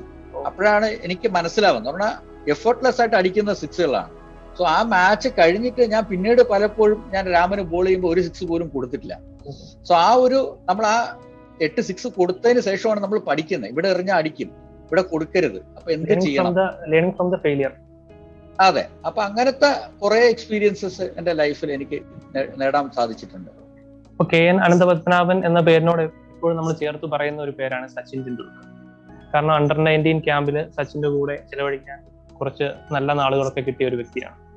അപ്പോൾ ഇന്ത്യൻ ക്രിക്കറ്റിന്റെ ദൈവം അല്ലെ? അല്ലെങ്കിൽ ഒരു തലമുറയെ തന്നെ പത്രത്തിന്റെ പിൻ പേജിൽ നിന്നും വായിക്കാൻ പ്രേരിപ്പിച്ച ഒരു പ്രതിഭ. ഒരുപാട് യുവാക്കൾക്ക് ക്രിക്കറ്റിലേക്ക് വരാനും അല്ലെങ്കിൽ ക്രിക്കറ്റിനെ ജനകീയമാക്കിയ ഒരു താരം എന്ന നിലയിലാണ് പലപ്പോഴും സച്ചിനെ നമ്മൾ കാണുന്നത്. എങ്ങനെയുണ്ടായിരുന്നു സച്ചിന്റെ കൂടെയുള്ള കുറച്ച് നല്ല നിമിഷം എന്നാൽ തീർച്ചയായിട്ടും സച്ചിന്റെ ഒപ്പം അണ്ടർ നയന്റീനിലെ നമ്മൾ ക്യാമ്പിൽ ഒരുമിച്ച് ഉണ്ടായിരുന്നു. അതേപോലെ ഒരു രണ്ട് മൂന്ന് മാച്ച് ഇപ്പൊ വിൽസ് ട്രോഫി അങ്ങനത്തെ റെസ്റ്റ് ഓഫ് ഇന്ത്യ മാച്ച് ഒന്ന് രണ്ട് പ്രാവശ്യം സച്ചിന്റെ ടീമിൽ തന്നെ ഞാൻ ഉണ്ടായിരുന്നു ഒന്ന് രണ്ട് പ്രാവശ്യം എഗെയിൻസ്റ്റ് ആയിട്ട് ടീമിന്റെ എഗെയിൻസ്റ്റ് ആയിട്ട് കളിക്കാനുള്ള ഒരു അവസരം ഉണ്ടായിരുന്നു. നയന്റി ടു മുതൽ നയന്റി സെവൻ വരെ കളിച്ചിരുന്ന സച്ചിൻ. പറഞ്ഞാൽ നമ്മുടെ കയ്യിൽ നിന്ന് ബോൾ വരുമ്പോൾ തന്നെ ആ ഷോട്ടിന് റെഡിയാവുന്ന ഒരു സച്ചിൻ. അത് നമുക്ക് കണ്ട വിശ്വസിക്കാൻ പറ്റത്തില്ല. അങ്ങനെ കളിക്കാൻ പറ്റുമോ അന്ന് സച്ചിന് എനിക്ക് തോന്നുന്നു ഒരു നയന്റി ടു നയന്റി ത്രീ ആവുമ്പോൾ തന്നെ സച്ചിൻ ആപ്പാടെ ഒരു പതിനെട്ട് വയസ്സ് പത്തൊമ്പത് വയസ്സാവുന്നേ ഉള്ളൂ. സോ ആ ഒരു ടൈമിൽ കളിക്കുന്ന മീൻസ് ബോൾ ഏത് ബോൾ ഇട്ട് കഴിഞ്ഞാലും അത് കളിക്കാനുള്ള ഒരു ടൈം ബാക്കിയുള്ള ബാറ്റ്സ്മാന് കിട്ടുന്നതിനെക്കാട്ടുള്ള ഒരു ടൈമും ആ കളി ഒരു രണ്ട് മൂന്ന് ഷോട്ട്സ് കളിക്കാൻ പറ്റുന്ന ഒരു ബോളിന് കളിക്കാൻ പറ്റുന്ന ഒരു എബിലിറ്റി സോ അതൊരു ഒരു ഭയങ്കര ഒരു സംഭവം തന്നെയാണ്. ഒരു നാച്ചുറലി ഒരു ഗിഫ്റ്റഡ് ഒരു സച്ചിൻ തന്നെയാണ്. സോ ബോൾ ചെയ്യാനുള്ള ഒരു അവസരം ഒന്നും കിട്ടിയില്ല. സച്ചിനെ നമുക്ക് നെറ്റ്സിൽ ബോൾ ചെയ്യുന്നല്ലാണ്ട് മാച്ചിന് ബോൾ ചെയ്യാനുള്ള അവസരം കിട്ടിയിരുന്നില്ല. ബട്ട് ടോട്ടലി ഒരു അൺബിലീവബിൾ ആയിട്ടുള്ള ഒരു ഒരു ബാറ്റ്സ്മാൻ തന്നെയാണ്. കാരണം ക്രിക്കറ്റ് കളിക്കാനായിട്ട് ഒരു ജനിച്ച ഒരു വ്യക്തി തന്നെയാണ് സച്ചിൻ ടെണ്ടുൽക്കർ. നമ്മൾ പറയുന്ന കാലം കാത്തു വെച്ച കാവ്യനീതി എന്നൊക്കെ പറയുന്ന പോലെ ഇതേ സച്ചിന്റെ രഞ്ജി ട്രോഫിയിലെ റിട്ടയർമെന്റ് മാച്ചിന് സാറ് തേർഡ് അമ്പയർ ആയിട്ട് നിൽക്കാനുള്ള ഒരു ഭാഗ്യം ലഭിച്ചു. അതെ മീൻസ് സച്ചിൻ അവസാനം കളിച്ച രഞ്ജി ട്രോഫി മാച്ച് അത് തന്നെയായിരുന്നു. ഞാൻ തേർഡ് അമ്പയർ ആയിരുന്നു ആ മാച്ചിൽ സോ അതിന്റെ മുമ്പിൽ ഞാനിപ്പോ പറഞ്ഞില്ല നയന്റി ടു മുതൽ ഒരു നയന്റി എയ്റ്റ് വരെ കളിച്ചിരുന്ന സച്ചിനും. ഈ അവസാനത്തെ മാച്ച് എന്ന് പറഞ്ഞാൽ എനിക്ക് തോന്നുന്നു ഒരു രണ്ടായിരത്തി പതിനാല് പതിനഞ്ചൊക്കെ അതിന് ആ ഒരു ടൈമിലാണ്. പറഞ്ഞാൽ ഓൾമോസ്റ്റ് ഈ വേൾഡ് കപ്പ് നമ്മൾ ജയിച്ചതിന് ശേഷമാണോ അല്ലെങ്കിൽ തൊട്ട് മുമ്പിലുള്ളതാണോ എന്ന് ഞാൻ വ്യക്തമായിട്ട് ഓർക്കുന്നില്ല. പക്ഷെ ആ ടൈമിൽ കളിച്ചിരുന്ന സച്ചിൻ മീൻസ് വളരെ ഡിഫറെന്റ് ആയിട്ടുള്ള ഒരു സച്ചിനാണ് കാരണം അതുവരെ കളിച്ചിരുന്ന ഞാൻ കണ്ടിരുന്ന സച്ചിൻ ഞാൻ കളിച്ചോണ്ടിരിക്കുമ്പം കാണുന്ന സച്ചിനും ഈ അവസാനം അമ്പയർ ചെയ്യുമ്പോൾ ഉള്ള സച്ചിനും ടോട്ടലി ഡിഫറെന്റ് ഒരു ബാറ്റ്സ്മാൻ എന്ന് പറഞ്ഞാൽ ലാസ്റ്റിൽ കളിക്കുന്ന സമയത്ത് ഒരുപാട് ഷോട്ട്സ് കളിക്കാൻ പറ്റാത്ത ഒരു സച്ചിനാണ്. പക്ഷെ ആ വിൽ പവറും ഡിറ്റർമിനേഷനും ഒരു ഈഗോവും കൂടാണ്ട് ആ മാച്ച് കാരണം നൂറടിച്ചിരുന്നു ആ മാച്ചിലും അങ്ങനെ മീൻസ് ഒരുപാട് ഷോട്ട്സ് ഞാൻ കണ്ടിരുന്ന ടൈമിലുള്ള ഒരുപാട് ഷോട്ട്സ് റെസ്ട്രിക്ട് ചെയ്ത് കളിക്കാൻ പറ്റത്തില്ല. നമ്മുടെ ബാക്കിന്റെ കുറെ പ്രശ്നങ്ങൾ അതേപോലെ എൽബോ പ്രശ്നങ്ങൾ ഉണ്ടായിരുന്നു അത് വെച്ചിട്ട് ആ ഡിറ്റർമിനേഷനോട് വീണ്ടും ആ റൺ അടിച്ചേ മീൻസ് ആ റൺ അടിക്കാനുള്ള ഹങ്കർ അത് നമ്മൾ പറയാണ്ടിരിക്കാൻ മീൻസ് പറ്റത്തില്ല. കാരണം അത്രയ്ക്കും ഡെഡിക്കേഷൻ ആ ഗെയിമിനോട്ട് ഉണ്ടായിരുന്നു. ആ നാച്ചുറൽ ഇൻസ്റ്റിങ്റ്റിനെല്ലാം കേബ് ചെയ്ത് വീണ്ടും റൺ അടിക്കണം എന്നുള്ള ഒരു ആ ഹങ്കർ അത് ഭയങ്കര ഒരു സംഭവം തന്നെയാണ്. ഞാൻ ആദ്യം ഓൾറെഡി പറഞ്ഞ തന്നെ ഒരു കാര്യമാണ്. ഇന്ത്യൻ ടീമിന് കപിൽ ദേവ് എങ്ങനെയായിരുന്നു? അതുപോലെ ആയിരുന്നു സാറ് കേരള ക്രിക്കറ്റ് അപ്പം കെ എൻ അനന്ത പത്മനാഭൻ എന്ന ലെഗ് സ്പിന്നർ അതിനപ്പുറം നല്ലൊരു ബാറ്റ്സ്മാൻ കൂടിയായിരുന്നു. സാർ ഏകദേശം രണ്ടായിരത്തി തൊള്ളായിരം റണ്ണോളം സ്കോർ ചെയ്യാനൊക്കെ പറ്റും. അപ്പോൾ ഇത് രണ്ട് കാര്യം ചെയ്യുമ്പോൾ ഏതായിരിക്കും കുറച്ചുകൂടി കംഫർട്ടബിൾ ആയിട്ട് തോന്നിയിട്ടുള്ളത്? ബാറ്റ്സ്മാൻ ആണോ അത് ബൗളറായിട്ട് ചെയ്യുന്നത്? അല്ല എനിക്ക് എനി എനി ടൈം എനിക്ക് ബോളിംഗ് ആയിരുന്നു എന്റെ താല്പര്യം. കാരണം ഞാൻ കളിച്ച് രഞ്ജി ട്രോഫി കളിച്ചു കഴിഞ്ഞ ഒരു രണ്ട് മൂന്ന് കൊല്ലം ആയപ്പോൾ തന്നെ നാഷണൽ ലെവലിലേക്കുള്ള ഒരു നമുക്ക് റെക്കഗ്നിഷൻ കിട്ടി. മീൻസ് ഒരു ലെഗ് സ്പിന്നർ എന്നുള്ള രീതിയിലാണ് എനിക്ക് ആ ചാൻസ് കൂടുതലുണ്ടായിരുന്നത്. ഇന്ത്യൻ ടീമിൽ ഞാൻ കളിക്കണമെന്നുണ്ടെങ്കിൽ ഞാൻ ലെഗ് സ്പിന്നറായിട്ട് മാത്രമേ കളിക്കാനുള്ള സാധ്യത ഉണ്ടായിരുന്നുള്ളൂ. സോ അതുകൊണ്ട് തന്നെ ഞാൻ കൂടുതലും നെറ്റ്സിലാണെങ്കിലും അല്ലെങ്കിൽ ബാക്കിയുള്ള മാച്ചിലാണെങ്കിലും ഞാൻ കോൺസെൻട്രേറ്റ് ചെയ്തിരുന്ന എന്റെ ലെഗ് സ്പിന്നിൽ തന്നെയായിരുന്നു. എന്നാൽ ബാറ്റിംഗ് വെച്ചിട്ട് എനിക്ക് എവിടെ എത്താൻ പറ്റത്തില്ല. കാരണം എനിക്ക് ഒന്നാമത് നാച്ചുറൽ എബിലിറ്റി ഇല്ല. ബോളിംഗ് ആണെങ്കിലും ബാറ്റിംഗ് ആണെങ്കിലും ഞാൻ അധ്വാനം കൂടെ മീൻസ് ആ ഹാർഡ് വർക്കിൽ എത്തിയ ഒരു ഒരു പ്ലെയർ ആണ്. കാരണം നാച്ചുറൽ ഇപ്പൊ സച്ചിനെ പോലെയോ അല്ലെങ്കിൽ ബാക്കിയുള്ള ആ ടൈമിൽ ഇപ്പൊ ഡ്രാവിഡോ ലക്ഷ്മണോ അങ്ങനത്തെ പ്ലെയേഴ്സിനെ പോലുള്ള ഒരു നാച്ചുറൽ എബിലിറ്റി എനിക്കില്ലായിരുന്നു. ഒരിക്കലും തന്നെ എനിക്ക് ബാറ്റ്സ്മാനായിട്ട് ഒരു ടീമിൽ കളിക്കാൻ പറ്റത്തില്ല എന്നറിയാമായിരുന്നു സോ ബോളിംഗിൽ തന്നെയായിരുന്നു എന്റെ ഫുൾ കോൺസെൻട്രേഷൻ ഏകദേശം എൺപതുകൾ മുതൽ ഇങ്ങോട്ടുള്ള ഒരുപാട് പ്ലേയേഴ്സിനെയും ക്യാപ്റ്റന്മാരെയും ഇന്ത്യൻ ടീമിലെ ഓരോ പ്ലേയേഴ്സിനെയൊക്കെ കണ്ട ഒരാളാണ്. അപ്പോൾ ഈ വന്നു പോയതിൽ ഏറ്റവും മികച്ച ഒരു ക്യാപ്റ്റൻ ആരാണെന്ന് ചോദിച്ചാൽ സർ ആരുടെ പേരായിരിക്കും പറയുന്നത് കാരണം എനിക്കത് കൂടുതൽ ചിന്തിക്കേണ്ടി വരത്തില്ല. എന്ന് പറഞ്ഞാൽ ധോണി തന്നെയാണ് ഞാൻ ഇതുവരെ കണ്ടതിൽ ഏറ്റവും ബെസ്റ്റ് ക്യാപ്റ്റൻ ആയിട്ട്. മീൻസ് അത്. ടൂ തൗസൻഡ് സെവൻ വേൾഡ് കപ്പിൽ എടുക്കുമ്പോൾ ഉള്ള ആ ഫസ്റ്റ് നമ്മൾ ഇമ്പ്രസ് നമ്മൾ കളിക്കുമ്പം അറിയാം നമുക്ക് ആ ആ ഫീലിംഗ് എന്തോന്നാ നിങ്ങൾ ശ്രദ്ധിച്ചു കാണുമെന്ന് അറിയത്തില്ല ഈ ട്രോഫി കിട്ടുന്ന സമയത്ത് ധോണി ആ two thousand eleven two thousand സെവനിൽ ടി ട്വന്റി ലോകകപ്പ് ജയിച്ചു കഴിഞ്ഞിട്ട്. അതെ എടുത്തു കഴിഞ്ഞ ട്രോഫി ഇമ്മീഡിയറ്റ് ആയിട്ട് ടീം പ്ലേയേഴ്സിന് കൊടുക്കുന്ന ഒരു സീനാണെന്ന് ഞാൻ കാണുന്നത്. അതൊരു ഒരു ഒരു നോർമലി ആർക്കാണെങ്കിലും അത് ഭയങ്കര ഒരു വേൾഡ് കപ്പ് ജയിക്കുക എന്ന് പറഞ്ഞു കഴിഞ്ഞാൽ അതും അതിന്റെ മുമ്പിൽ നമ്മൾ ഫിഫ്റ്റി ഓവർ വേൾഡ് കപ്പിൽ ഭയങ്കര ഒരു പരാജയം. നമ്മൾ ബംഗ്ലാദേശായിട്ട് തോൽക്കുന്നുണ്ട്. അടുത്ത റൗണ്ട് അതെ നമ്മൾ ഫസ്റ്റ് റൗണ്ടിൽ തന്നെ ഔട്ടായിട്ട് ഇത്രയും ഭയങ്കര ക്രിറ്റിസിസം കഴിഞ്ഞിട്ടാണ് സച്ചിനും സൗരവും ദ്രാവിഡും ഒന്നും ഇല്ലാത്ത ഒരു ഒരു ടീമിനെ ക്യാപ്റ്റൻ ചെയ്യാനായിട്ടുള്ള ഒരു അവസരം കിട്ടിക്കഴിഞ്ഞിട്ട് ഒരു യങ് ക്യാപ്റ്റൻ അങ്ങനെ കിട്ടുന്ന ഒരു ക്യാപ്റ്റൻ വന്നിട്ട് ഇങ്ങനെ ഒരു ഞാൻ അന്ന് ആ ഒരു ടൈമിൽ തന്നെ എന്റെ മനസ്സിൽ ഉണ്ടായിരുന്നു ഇതൊരു ഒരു ഗ്രേറ്റ് സൈൻ ആണ്. കാരണം ഒരു ക്യാപ്റ്റൻസിയുടെ ഇൻബോൺ ക്വാളിറ്റി ആണെന്നുള്ള ഞാൻ അത് കണ്ടിരുന്നു ധോണിയുടെ. അത് തുടർച്ചയായിട്ടും അത് കഴിഞ്ഞിട്ടുള്ള ഓരോരോ മാച്ച് കാണുമ്പോഴും ആ ബഹുമാനം കൂടി കൂടി വരികയായിരുന്നു. കാരണം ആ തിങ്കിങ് എബിലിറ്റിയും ടീമിനെ എങ്ങനെ കൊണ്ടുപോകണം ഒരു പ്ലെയറിനെ എങ്ങനെ കളിപ്പിക്കണം. മീൻസ് നമുക്ക് പല പല ആൾക്കാർക്കും നമ്മുടെ ടാലന്റ് അത്ര ഉണ്ട്. ഇപ്പൊ സച്ചിൻ ടെണ്ടുൽക്കറിന്റെ ക്യാപ്റ്റൻസിയെ കുറിച്ച് പറയുകയാണെങ്കിൽ സച്ചിൻ ടെണ്ടുൽക്കർ ക്യാപ്റ്റൻസിയിൽ അത്ര മികച്ചൊരു ക്യാപ്റ്റൻ അല്ല. കാരണം പുള്ളിക്കാരന് അറിയില്ല. ഒരു ലെസ് ടാലന്റ് ആയിട്ടുള്ള ഒരാൾ ഉണ്ടാവും അത് എങ്ങനെ അയാളെ കൊണ്ട് എങ്ങനെ മാക്സിമം ഒരു പെർഫോമൻസ് എടുക്കാൻ പറ്റും. എന്ന് പറഞ്ഞാൽ പുള്ളിക്കാരൻ അറിഞ്ഞൂടാ പുള്ളിക്കാരൻ അത്രയും ടാലന്റ് ആയതുകൊണ്ട് പുള്ളിക്കാരന് എല്ലാം എളുപ്പമാണ്. ബാറ്റിംഗ് ഇങ്ങനെ ചെയ്താൽ മതി എന്നുള്ളൊരു ഒരു തോന്നലാണ്. അത് ക്യാപ്റ്റൻസിയിൽ ഒരിക്കലും വർക്കൗട്ട് ചെയ്യില്ല. നമുക്ക് ചിലപ്പം കുറച്ച് താഴ്ന്ന പ്ലേയേഴ്സ് ഉണ്ടാവും. കുറച്ച് ചില ആൾക്കാർക്ക് കുറച്ച് ടെൻസ് സിറ്റുവേഷനിൽ കളിക്കാനുള്ള ഒരു എബിലിറ്റി ഉണ്ടാവും. ചിലവർക്ക് നാച്ചുറൽ സ്ട്രോക്ക് പ്ലേയുടെ ഒരു എബിലിറ്റി ഉണ്ടാവും. ചിലവർക്ക് ടൈറ്റ് ആയിട്ട് ബോൾ ചെയ്യാനുള്ള എബിലിറ്റി ഉണ്ടാവും. ഇവരെല്ലാം എങ്ങനെ യൂസ് ചെയ്യണം? അതൊരു നാച്ചുറൽ ഒരു ഒരു സ്കില്ല് ധോണിക്കുണ്ടായിട്ട് എനിക്ക് തോന്നിയിട്ടുണ്ട്. ആ ഓരോരോ പ്ലെയറിനെ ബെസ്റ്റ് എങ്ങനെ കൊണ്ടുവരണം എന്നുള്ള ഒരു കഴിവ് ധോണിക്കുണ്ട്. നമ്മൾ എന്റയർലി ഡിഫറെന്റ് ആയ ഒരു ധോണിയാണല്ലേ കണ്ടത്. ഒരു നോൺ ക്യാപ്റ്റൻ എന്ന പ്ലെയറിൽ നിന്ന് ഒരു ക്യാപ്റ്റൻ ആയി കഴിഞ്ഞപ്പോഴത്തേക്കും ആ മച്യൂരിറ്റി ഒരു ലെവലൊക്കെ കൂടി ഭയങ്കര കൂളായ കാമായ ഒരു ധോണിയാണ്. അതെ. അതുകൊണ്ട് ഏത് സിറ്റുവേഷൻ ആയി കഴിഞ്ഞാലും പുള്ളിക്കാരൻ വളരെ ടെൻസ്ഡ് ആണോ അല്ലെങ്കിൽ റിലാക്സ്ഡ് ആണോ ഈ വെളിയിൽ നമുക്ക് വെളിയിൽ കാണുമ്പോൾ അറിയാൻ പറ്റത്തില്ല. തീർച്ചയായിട്ടും ഏതൊരു ക്യാപ്റ്റൻ ആണെങ്കിൽ ഏതൊരു വ്യക്തിക്കും ടെൻഷൻ ഉണ്ടാവും. ആ സിറ്റുവേഷന്റെ പ്രഷർ ഉണ്ടാവും ഇപ്പൊ അവസാനത്തെ ഈ നമുക്ക് ഋഷാദിന്റെ കയ്യിൽ ബോൾ ക്യാച്ച് പോകുമ്പോഴും ആർക്കാണെങ്കിലും ടെൻഷൻ പക്ഷെ അത് കാണിക്കാത്തൊരു വ്യക്തിയാണ്. പറഞ്ഞാൽ ആ ഫസ്റ്റ് സീരീസ് മുതൽ റിട്ടയർ ആവുമ്പോൾ മീൻസ് ആ ടൈം വരെ നമ്മൾ ധോണിയിൽ വളരെ റെയർ ആയിട്ടേ ഉള്ളൂ. എന്തെങ്കിലും ഇമോഷൻസ് വെളിയിൽ കാണിക്കുന്ന ഒരു ധോണിയാണ് ഇൻ കൺട്രോൾ ആണ്. പറഞ്ഞാൽ എപ്പോ നോക്കിക്കഴിഞ്ഞാലും പുള്ളിക്കാരൻ ശാന്തനായിട്ടുണ്ട്. എല്ലാ പുള്ളിക്കാരന്റെ കയ്യിൽ ഒതുങ്ങി നിൽക്കുന്നുണ്ട്. എന്നൊരു തോന്നൽ ടീമിനും ബാക്കിയുള്ള നമ്മൾ കാണുന്ന ആൾക്കാർക്കും ആ ഒരു തോന്നൽ എപ്പോഴും ധോണി തന്നിട്ടുണ്ട്. സാറ് ഏകദേശം എൺപതുകൾ മുതൽ ഇങ്ങോട്ടുള്ള ഇന്ത്യൻ ടീമിനെ നിരന്തരമായിട്ട് കാണുകയും വീക്ഷിക്കുകയും ചെയ്ത ഒരാളാണ്. അപ്പൊ അന്നത്തെ ടീമിൽ നിന്ന് ഒരുപാട് വ്യത്യസ്തമാണ് ഇന്നത്തെ ടീം. ഇപ്പൊ നമുക്ക് ഇപ്പൊ അടുത്ത കാലത്ത് ഒരു കാര്യം എടുത്താൽ തന്നെ ഇപ്പൊ നമ്മൾ രണ്ട് ടീമിനെ ഒരേ സമയത്ത് കളിക്കാൻ വേണ്ടി ഒരെണ്ണം ശ്രീലങ്കയിലേക്കും ലോക ചാമ്പ്യൻഷിപ്പിന് വേണ്ടി നമ്മൾ വേറൊരു ടീമിനെ അതേ സമയത്ത് തന്നെ ഇംഗ്ലണ്ടിലേക്കും വിടുക. അപ്പൊ ഇങ്ങനെയുള്ള ഒരുപാട് ഓപ്ഷൻസ് ഒക്കെ കൂടിയ ഒരു ടീമിലേക്കാണ് ഇപ്പൊ നമ്മൾ നമ്മൾ കണ്ടുകൊണ്ടിരിക്കുന്നത്. ഇപ്പോഴത്തെ ഇന്ത്യൻ ടീമിനെ കുറിച്ച് എന്താണ് സാറിന്റെ ഒരു അഭിപ്രായം? നമ്മൾ നമ്മൾ ആ, ഇപ്പൊ നമ്മൾ നോക്കിക്കഴിഞ്ഞാൽ ലാസ്റ്റ് ഒരു രണ്ട് മൂന്ന് കൊല്ലത്തിന്റെ ഇടയിലുള്ള നമ്മൾ നമ്മൾ പെർഫോമൻസസ് നമ്മൾ ഇതിന്റെ മുമ്പിലുള്ള ഒരു ഒരു ടീമിന്റെ എന്ന് വെച്ച് കഴിഞ്ഞാൽ നമ്മൾ പുറത്തു പോയി വേണ്ടത്ര ജയിച്ചിട്ടില്ല എന്നുള്ള ഒരു ഒരു പരാതി നമുക്ക് എല്ലാവർക്കും തന്നെ ഉണ്ട്. ഇപ്പം പ്രത്യേകിച്ച് ഇംഗ്ലണ്ടിൽ കളിക്കുമ്പോഴോ അല്ലെങ്കിൽ ദക്ഷിണാഫ്രിക്കയിൽ കളിക്കുമ്പോഴോ ന്യൂസിലാൻഡിൽ കളിക്കുമ്പോഴോ അല്ലെങ്കിൽ ഓസ്ട്രേലിയയിൽ ഓസ്ട്രേലിയ. കളിക്കുമ്പോൾ ഇന്ത്യയിൽ ആ ഇന്ത്യയിൽ നമ്മൾ കളിക്കുമ്പോൾ നമ്മൾ സ്ട്രോങ് ടീം തന്നെയാണ്. നമ്മൾ അതെ. അതിൽ ഒരിക്കലും നമുക്കൊരു സംശയമൊന്നുമില്ല. പക്ഷെ നമ്മൾ പുറത്തു പോകുമ്പോൾ നമ്മൾ അത്ര വേണ്ടത്ര പെർഫോം ചെയ്തിട്ടില്ല.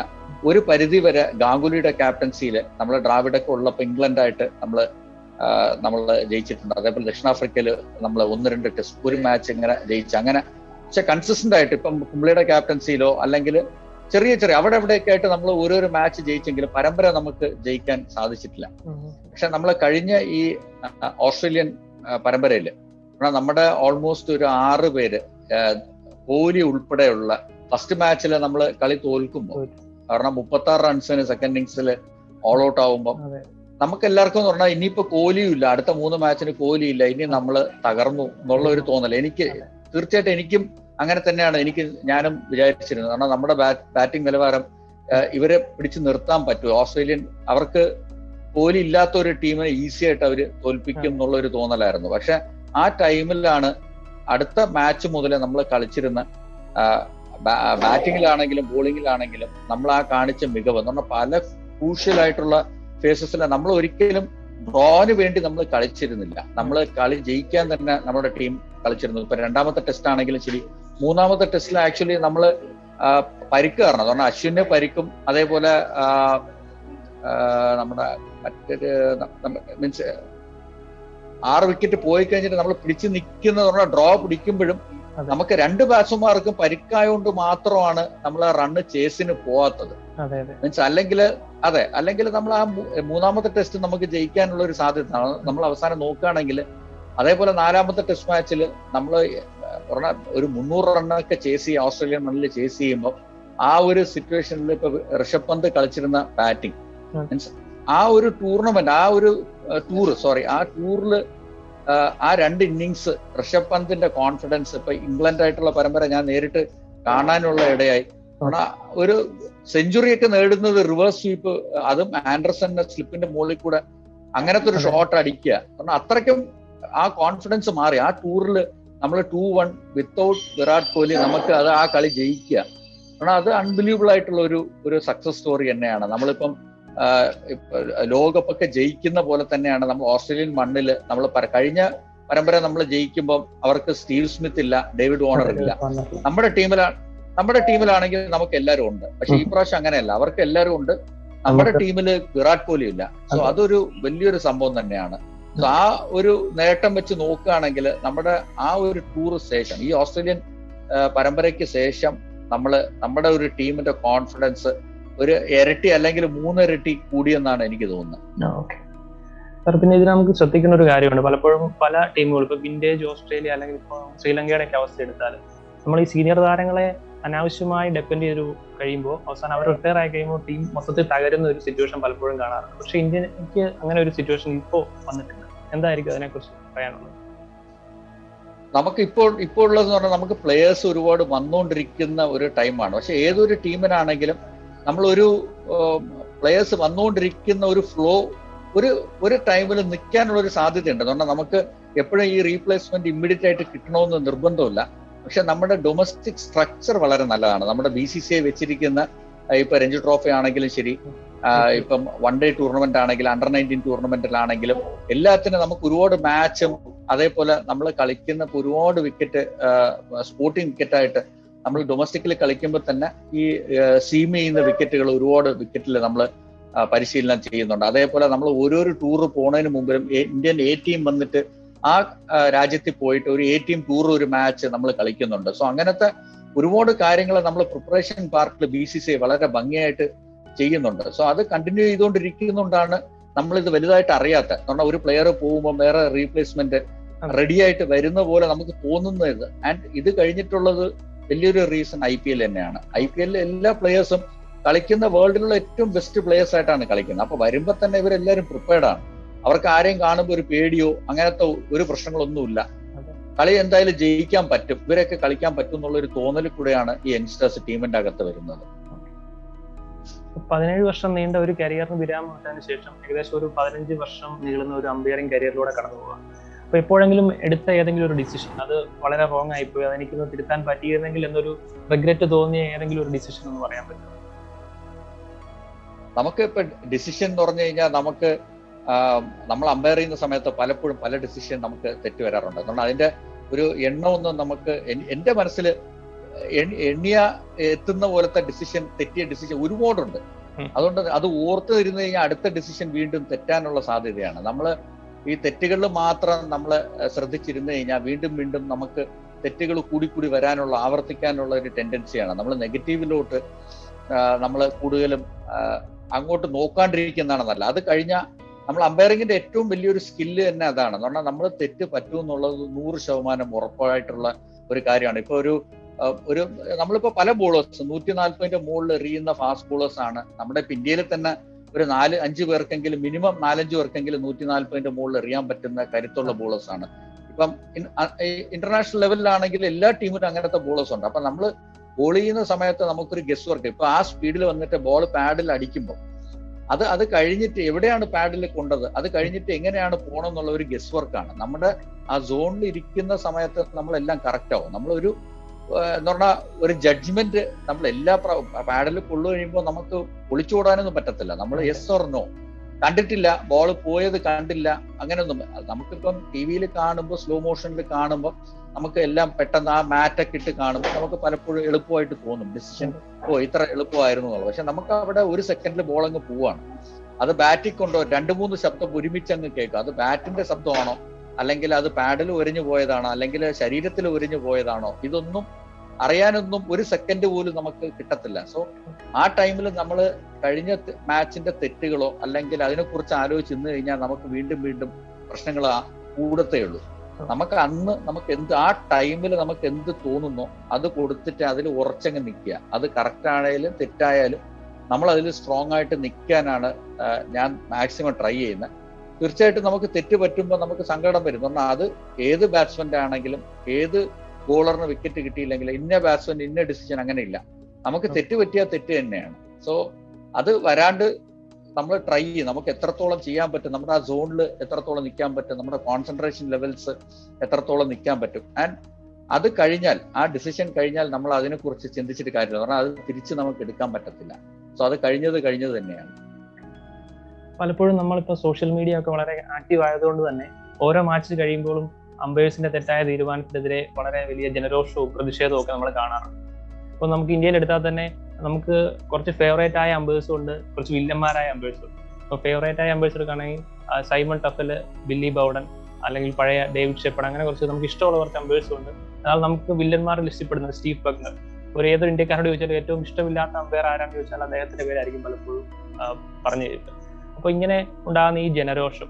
ഇത് നമ്മൾ അമ്പയേഴ്സും ഒരു മനുഷ്യരാണ് എന്നൊരു പരിഗണന കിട്ടാത്ത രീതിയിലേക്ക് ജനറേഷൻ പലപ്പോഴും ഉയരാറുണ്ട്. അപ്പൊ ഇതിനെ ഇത് ഏതെങ്കിലും തരത്തിൽ വിഷമിപ്പിക്കാറുണ്ടോ സാർ നമ്മൾ ഒരു കാര്യം ഇപ്പൊ നമ്മളൊരു പേരെടുത്തോണ്ട് മാത്രം ഞാൻ പറയാണ്. ഇപ്പൊ സ്റ്റീവ് ബക്നറിന്റെ നമ്മളൊരു പേരെടുത്തോണ്ട് ഞാൻ പറയണം. നമ്മൾ സ്റ്റീവ് ബക്നർ അവസാനത്തെ വെളിയിൽ പുറത്താവുമ്പോൾ പറഞ്ഞ പുള്ളിക്കാരന്റെ ഏറ്റവും വേസ്റ്റ് ഫോമിലാണ് ഈ കംപ്ലീറ്റ് ഈ പ്രശ്നങ്ങൾ വന്നിട്ടുള്ളത്. പുള്ളിക്കാരൻ അതിന്റെ മുമ്പിൽ ചെയ്തിരുന്ന മാച്ചുകൾ പുള്ളിക്കാരന്റെ ഡിസിഷൻ മേക്കിംഗ് ഔട്ട്സ്റ്റാൻഡിങ് ഒരു അമ്പയർ ആയിരുന്നു. കാരണം അതുകൊണ്ടാണ് ഇത്രയും കാലങ്ങൾ പുള്ളിക്കാരന് അമ്പയർ ചെയ്യാൻ പറ്റിയിരുന്നത്. മാച്ച് ഇപ്പം നമ്മൾ നോക്കിക്കഴിഞ്ഞാൽ ഒരു ഒരു അമ്പയറിന് ഒരു എഴുപത് എൺപത് test match world cup final അങ്ങനത്തെ ടൂർണമെന്റ് ഒന്നും പെട്ടെന്ന് ആരും കൊടുക്കാറില്ല. പുള്ളിക്കാരൻ അത് ചെയ്തിട്ടുള്ളതിന്റെ കാരണം എന്ന് പറഞ്ഞാൽ പുള്ളിക്കാരൻ നല്ല അമ്പയർ ആയതുകൊണ്ടാണ് കൊടുക്കുന്നത്. അപ്പം അതിൽ പലപ്പോഴും നമ്മൾ ഓർക്കുന്ന ഈ ചില എല്ലാവർക്കും തന്നെ. ഇപ്പൊ ഏതൊരു പ്ലെയർ ആണെങ്കിലും അല്ലെങ്കിൽ പ്രത്യേകിച്ചും കാണികൾ നമ്മൾ ഓരോരോ പ്ലേയേഴ്സ് ആയിട്ട് ഇമോഷണലി അറ്റാച്ച്ഡ് ആയിരിക്കും.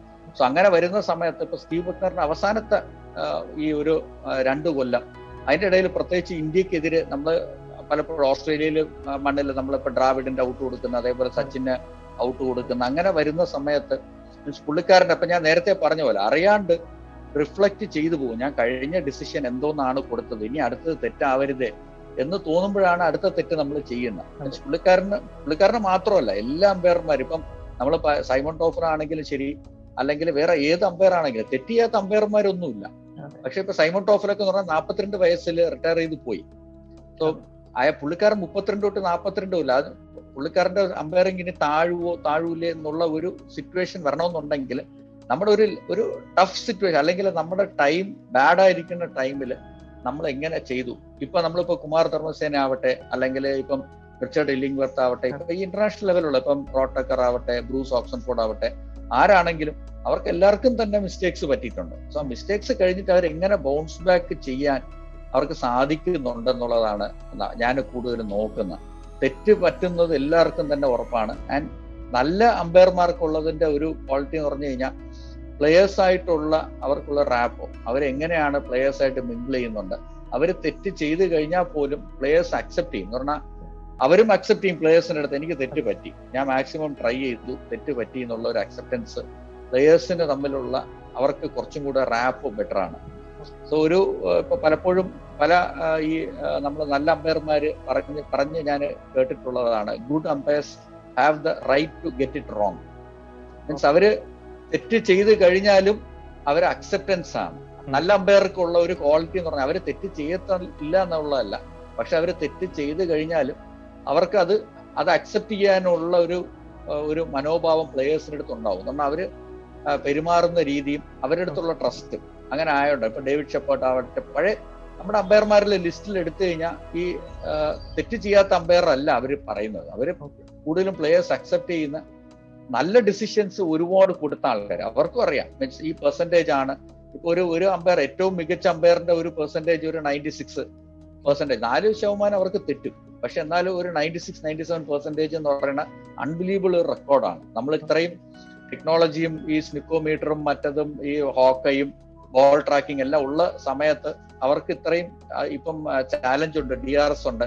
സോ ഇത് ഇങ്ങനത്തെ കുറെ ഒരു മുപ്പത് ക്യാമറ അവരെ ഇതിൽ തന്നെ ഫോക്കസ് ചെയ്ത് നിൽക്കുമ്പോൾ അത്ര ആ ഒരു ടെൻഷൻ അതിലിപ്പോ തിരിയുന്ന വിക്കറ്റ് ഉണ്ടാവും സീമിങ് വിക്കറ്റ് ഉണ്ടാവും ബൗൺസ് ചെയ്യുന്ന വിക്കറ്റ് ഉണ്ടാവും ലോ ആവുന്ന വിക്കറ്റ് ഉണ്ടാവും. അത് ഫസ്റ്റ് ഡേയിൽ വേറെ പോലെ ഉണ്ടാവും സെക്കൻഡ് ഡേ വേറെ പോലെ തേർഡ് ഡേ വേറെ എങ്ങനെയെങ്കിലും ആയിരിക്കും. അപ്പൊ ഇതിലെല്ലാം പൊരുത്തപ്പെട്ട് ഈ ടെസ്റ്റിലെല്ലാം കൂടെ ഈ മാച്ച് എല്ലാം കഴിഞ്ഞ് അതിജീവിച്ച് വരണമെന്നുണ്ടെങ്കിൽ തെറ്റില്ലാണ്ട് പറ്റത്തില്ല. സോ ഏത് അമ്പയർക്കും തെറ്റ് പറ്റും. പക്ഷെ ഇതിന്ന് നമുക്ക് എങ്ങനെ നല്ല രീതിയിൽ വലിയ പോറലൊന്നും ഏക്കാണ്ട് പുറത്തു വരാൻ പറ്റുമെന്നാണ് ഏതൊരു നല്ലൊരു അമ്പയറിന്റെ ഒരു ക്വാളിറ്റി ആയിട്ട് ഞാൻ കാണുന്നത്. നമുക്ക് Anantha Padmanabhan as an umpire എന്നുള്ളതൊന്ന് മാറ്റി വെച്ചിട്ടാണ്. പത്മനാഭൻ ആസ് എ കോച്ചിന് എടുക്കുമ്പോൾ ഏകദേശം ഒരു പതിനേഴ് ലക്ഷം രൂപയോളം മുടക്കി സ്വന്തമായിട്ടൊരു ഒരു കോച്ചിങ് ഇൻസ്റ്റിറ്റ്യൂട്ട് അത് തന്നെ ഒരു ഗ്രാമപ്രദേശത്ത് തുടങ്ങാനുണ്ടായ ഒരു ധൈര്യം. അതിനെക്കുറിച്ചാണ് ഞങ്ങൾക്ക് അറിയാം എന്നാ ഞാൻ എനിക്ക് ഒരു ഒരു വൺ ടൈം ഈ നൂറ് മാച്ച് കളിച്ചതിന്റെ ഒരു വൺ ടൈം ആയിട്ട് എനിക്ക് ബി സി സി നിന്ന് ഇരുപത്തഞ്ച് ലക്ഷം എനിക്ക് കിട്ടിയായിരുന്നു. അതിൽ ടാക്സ് പോകെ എന്റെ കയ്യിൽ പതിനേഴ് ലക്ഷം രൂപ ഉണ്ടായിരുന്നു. സോ അതെ. അപ്പം ആ ഒരു എമൗണ്ട് ഞാൻ വിചാരിച്ചു മീൻസ് ഇങ്ങനെ അക്കാഡമിയിൽ ഇടാം. പിള്ളേർക്ക് പ്രാക്ടീസ് ചെയ്യാനായിട്ട്. സോ അത് രണ്ടായിരത്തി പതിനാലിലാണ് തുടങ്ങിയത്. സോ രണ്ടായിരത്തി പതിനെട്ട് പത്തൊമ്പത് വരെ പതിനെട്ട് വരെ എനിക്ക് കുറച്ചും കൂടെ ടൈം ഉണ്ടായിരുന്നു. ഈ കോച്ചിങ്ങിന് പോകാനും സാറ്റർഡേ സൺഡേ ചെയ്യാനും അങ്ങനത്തെ ഒരു ഇതുണ്ടായിരുന്നു. പക്ഷെ എന്റെ അമ്പയറിംഗിന്റെ കാരിയർ ഒരു ടൂ തൗസൻഡ് നയന്റീൻ കഴിഞ്ഞപ്പോൾ എനിക്ക് കുറച്ചും കൂടെ ഒരു മുകളിലേക്ക് പോകാനുള്ള ഒരു ചാൻസ് ഉണ്ട് എന്ന് തോന്നിയപ്പം ഞാനിപ്പം കോച്ചിങ്ങിലോട്ട് താല്പര്യം മീൻസ് ആ ഒരു ഇത് കൊടുക്കുന്നില്ല. കാരണം ഇപ്പം എന്റെ അമ്പയറിംഗ് ഏറ്റവും നല്ല ഒരു പീക്ക് ഒരു ഒരു ഇതിൽ പൊയ്ക്കൊണ്ടിരിക്കുകയാണ്. ആൻഡ് ട്രാവലിംഗ് ഒരുപാട് കൂടുതലാണ്. ആൻഡ് അവിടെ എന്നെ ഡിപ്പെൻഡ് ചെയ്തിട്ടാണ് ഈ പിള്ളേർ വരുന്നത്. കാരണം ഞാൻ അവിടെ ഇവിടെ നിന്ന് ഒരു സിറ്റിയിൽ നിന്ന് സിറ്റിന്ന് നിന്ന് ഒരു പതിമൂന്ന് കിലോമീറ്റർ ദൂരെയാണ്. മലയങ്കീഴിന്റെ അടുത്താണ്. സോ അവിടെ പിള്ളേരുടെ പേരൻസ് എന്നെ ഞാൻ അവിടെ ഉണ്ടാവും എന്ന് പറഞ്ഞിട്ടാണ് അവർ വിടുന്നത്. അപ്പൊ ഞാൻ ഇല്ലാണ്ട് വരുമ്പോൾ അതിന്റെ ഒരു വിഷമം അവർ എന്റെ അടുത്ത് പറഞ്ഞിരുന്നു. ബാക്കിയുള്ള കോച്ച് മോശം എന്നുള്ളതല്ല മീൻസ് ഇത്രയും ദൂരം വരുമ്പം അനന്തൻ ഇല്ലെങ്കിൽ നമുക്ക് അവിടെ വിടാനുള്ള ഒരു താല്പര്യക്കുറവ് എന്നുള്ള രീതിയിൽ. സോ ഇപ്പൊ അവിടെ സോണി ചെറുവത്തൂറിന്റെ ഇപ്പം ലവ് വാൾ ക്രിക്കറ്റ് അക്കാഡമി എന്ന് പറഞ്ഞിട്ട് ഒരു അക്കാഡമി ആയിട്ട് ഒരു ടൈപ്പ് വെച്ചിട്ട് സോണിക്ക് ഇപ്പം അത് കേരള ടീമിന്റെ ഒക്കെ കോച്ചായിരുന്ന ആളും കേരള ടീമിന്റെ ക്യാപ്റ്റൻ ആയിരുന്ന സോണി ചെറുവത്തൂറിന്റെ പിള്ളേർ അവിടെ അവർ വരു വരുന്നുണ്ട്. അവിടെ പ്രാക്ടീസ് ചെയ്യാൻ. ഞാൻ അവിടെ ഉള്ള സമയത്ത് അവർക്ക് ഹെൽപ്പ് ചെയ്യാറുണ്ട്. സോ അത് ലൈവായിട്ട് അങ്ങനെ പോകുന്നുണ്ട്. കാരണം അവിടെ നെറ്റ്സ് ഉണ്ട് പാസ്റ്റോ ടർഫ് ഉണ്ട് ബാറ്റിംഗ് വിക്കറ്റിന്റെ ഇതുണ്ട്. ചെറിയ ചെറിയ പിള്ളേർക്ക് കളിക്കാനുള്ള സംവിധാനങ്ങളുണ്ട്. സോ എനി ടൈം എനിക്കും അതിൽ കോൺട്രിബ്യൂട്ട് ചെയ്യാൻ പറ്റും. എനിക്ക് കിട്ടിയ നമുക്ക് കിട്ടിയ ഒരു എക്സ്പീരിയൻസ് അത് പങ്കുവെക്കണമെന്നുള്ള ഒരു ആഗ്രഹം ഉള്ളതുകൊണ്ടാണ് ഞാൻ അത് അങ്ങനെ തുടങ്ങിയത്. അത് കുട്ടികളുടെ പഠിത്തത്തെ ബാധിക്കാത്ത രീതിയിൽ അത് മുന്നോട്ട് കൊണ്ടുപോകാമെന്നൊരു ഒരു നിശ്ചയദാർഢ്യം കൂടി സാറിന് ഉണ്ടെന്ന് തോന്നുന്നു. അല്ല തീർച്ചയായിട്ടും. നമ്മളിപ്പം ഒരു ഏറ്റവും വലിയൊരു എക്സാമ്പിൾ എന്ന് പറഞ്ഞു കഴിഞ്ഞപ്പോൾ രണ്ടായിരത്തി ഇരുപത് മുതൽ ഇനിയിപ്പം എനിക്ക് തോന്നുന്നു നമ്മുടെ സീസണൊക്കെ ഒന്ന് നോർമൽ ആവണമെന്നുണ്ടെങ്കിൽ ഇനി ഒരു കൊല്ലം ഈ കൊല്ലം നമ്മുടെ ക്രിക്കറ്റ് ഒന്നും നടക്കുമെന്ന് ഡൊമസ്റ്റിക് ക്രിക്കറ്റിൽ നമ്മൾ നടക്കുമെന്ന് ഒരു ഉറപ്പുമില്ല. ഇപ്പോൾ ഉള്ള സിറ്റുവേഷൻ വെച്ച് നോക്കുകയാണെങ്കിൽ. സോ ഇതിന്റെ പഠിത്തം ഇല്ലെങ്കിൽ നമ്മുടെ പിള്ളേർക്ക് പഠിത്തം അല്ലെങ്കിൽ വേറൊരു ഓപ്പർച്യൂണിറ്റി ഇല്ലെങ്കിൽ നമ്മൾ ക്രിക്കറ്റ് മാത്രം നിന്ന് കഴിഞ്ഞാൽ എല്ലാവരും കളിക്കണം. എല്ലാവർക്കും ഐ പി എൽ കിട്ടട്ടെ എല്ലാവർക്കും ഇന്ത്യൻ ടീമിൽ കിട്ടട്ടെ എന്ന് തന്നെയാണ് താല്പര്യം. പക്ഷെ അതിനുള്ള നമ്മൾ ഫാക്ട് നമ്മുടെ കണ്ണിൽ മുന്നിൽ നമ്മൾ കണ്ടേ പറ്റുള്ളൂ. എല്ലാവർക്കും കിട്ടത്തില്ല. നമ്മൾ എത്ര മികച്ച ഒരു പ്ലെയർ ആണെങ്കിലും ഇപ്പൊ നമ്മൾ ആ സെലക്ഷൻ മാച്ചിൽ നമ്മൾ ചിലപ്പോൾ റണ്ണൗട്ട് ആവും. അല്ലെങ്കിൽ നേരത്തെ പറഞ്ഞ ഒരു അമ്പയറിന്റെ ഒരു മിസ്റ്റേക്കിൽ ചിലപ്പോൾ നമ്മൾ ആ റൺ അടിക്കാണ്ട് പോകും. അല്ലെങ്കിൽ നമുക്ക് ബാറ്റിങ്ങിനോ ബോളിങ്ങിനോ ഉള്ള അവസരം കിട്ടത്തില്ല. ആ ക്യാപ്റ്റന് നമ്മുടെ അടുത്തൊരു കോൺഫിഡൻസ് ഉണ്ടാവില്ല. പല കാര്യങ്ങളും ഇതിന്റെ ഒപ്പം കൂടെ ചേർന്ന് നിൽക്കുന്ന ഒരു കാര്യമാണ് ഈ ക്രിക്കറ്റ് പറഞ്ഞു വരുന്നത്.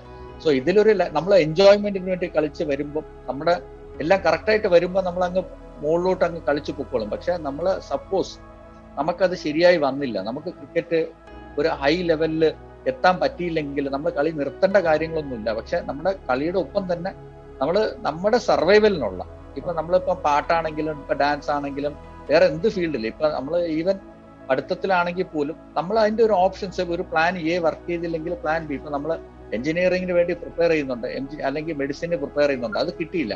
നമ്മൾ പഠിത്തം നിർത്തി പോകാറില്ലല്ലോ നമ്മൾ അടുത്തൊരു വേറെ എന്തെങ്കിലും ഒരു ഓപ്ഷൻ വേറെ എന്തെങ്കിലും ഒരു കരിയർ പാത്ത് ചൂസ് ചെയ്ത് പോകുന്ന പോലെ തന്നെ നമ്മൾ ക്രിക്കറ്റേഴ്സ് കളിക്കാൻ വരുന്ന പിള്ളേരെടുത്തും ഞാൻ അത് തന്നെയാണ് അവരുടെ അടുത്ത് പറയുന്നത്. നമ്മൾ ബാലൻസ്ഡ് ആയിട്ട് നമ്മൾ ഒരു ലൈഫിനെ കൊണ്ടുപോകാൻ പറ്റുന്ന ഒരു വേറെ ഒരു ഓപ്ഷനും കൂടെ നോക്കി വെക്കണം എന്നുള്ളത് ഞാൻ പിള്ളേരുടെ അടുത്ത് പറഞ്ഞ് മാക്സിമം ഞാൻ പറയാറുണ്ട് പേരൻസിന്റെ അടുത്ത് ഞാൻ പറയാറുണ്ട്. സാർ ഇപ്പോൾ ഒരുപാട് പേരുണ്ട്. കേരളത്തിൽ ഇപ്പം ഏകദേശം ഒരു ശ്രീശാന്ത് സഞ്ജു സാംസൺ എന്ന രീതിയിലൊക്കെ ഒതുങ്ങിപ്പോയെങ്കിൽ കൂടി ഒരുപാട് ആളുകൾ ക്രിക്കറ്റ് സ്വപ്നം കണ്ട് ഇപ്പോഴും ഒരുപാട് ചെറുപ്പക്കാർ നടക്കും.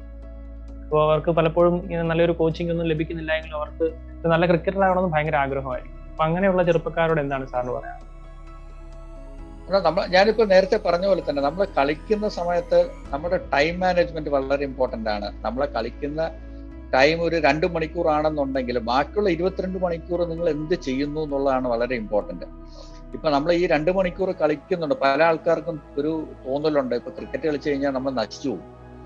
ക്രിക്കറ്റ് കളിച്ച് നമ്മൾ ഫ്രസ്ട്രേഷൻ വരുമ്പോഴാണ് നമ്മൾ കൂടുതലും നമ്മൾ അങ്ങനെ ചിന്തിക്കുന്നത്. നമ്മുടെ മനസ്സിൽ നമുക്ക് അങ്ങനെ ഒരു നെഗറ്റിവിറ്റി ആ സ്പോർട്ടിനോട്ടുള്ള നമുക്ക് കിട്ടിയില്ല സെലക്ഷൻ ഇങ്ങനെ ആയില്ല സെലക്ടർ എന്നെ ചതിച്ചു അല്ലെങ്കിൽ ഈ ക്യാപ്റ്റൻ തന്നില്ല. നമ്മൾ പലപ്പോഴും നമ്മുടെ മിസ്റ്റേക്സ് നമ്മൾ വേറെ ആരുടെ തലയിൽ തന്നെ ഇടാനുള്ള ഒരു ശ്രമം നടത്താനുള്ള ഒരു ചാൻസ് ഉണ്ട്.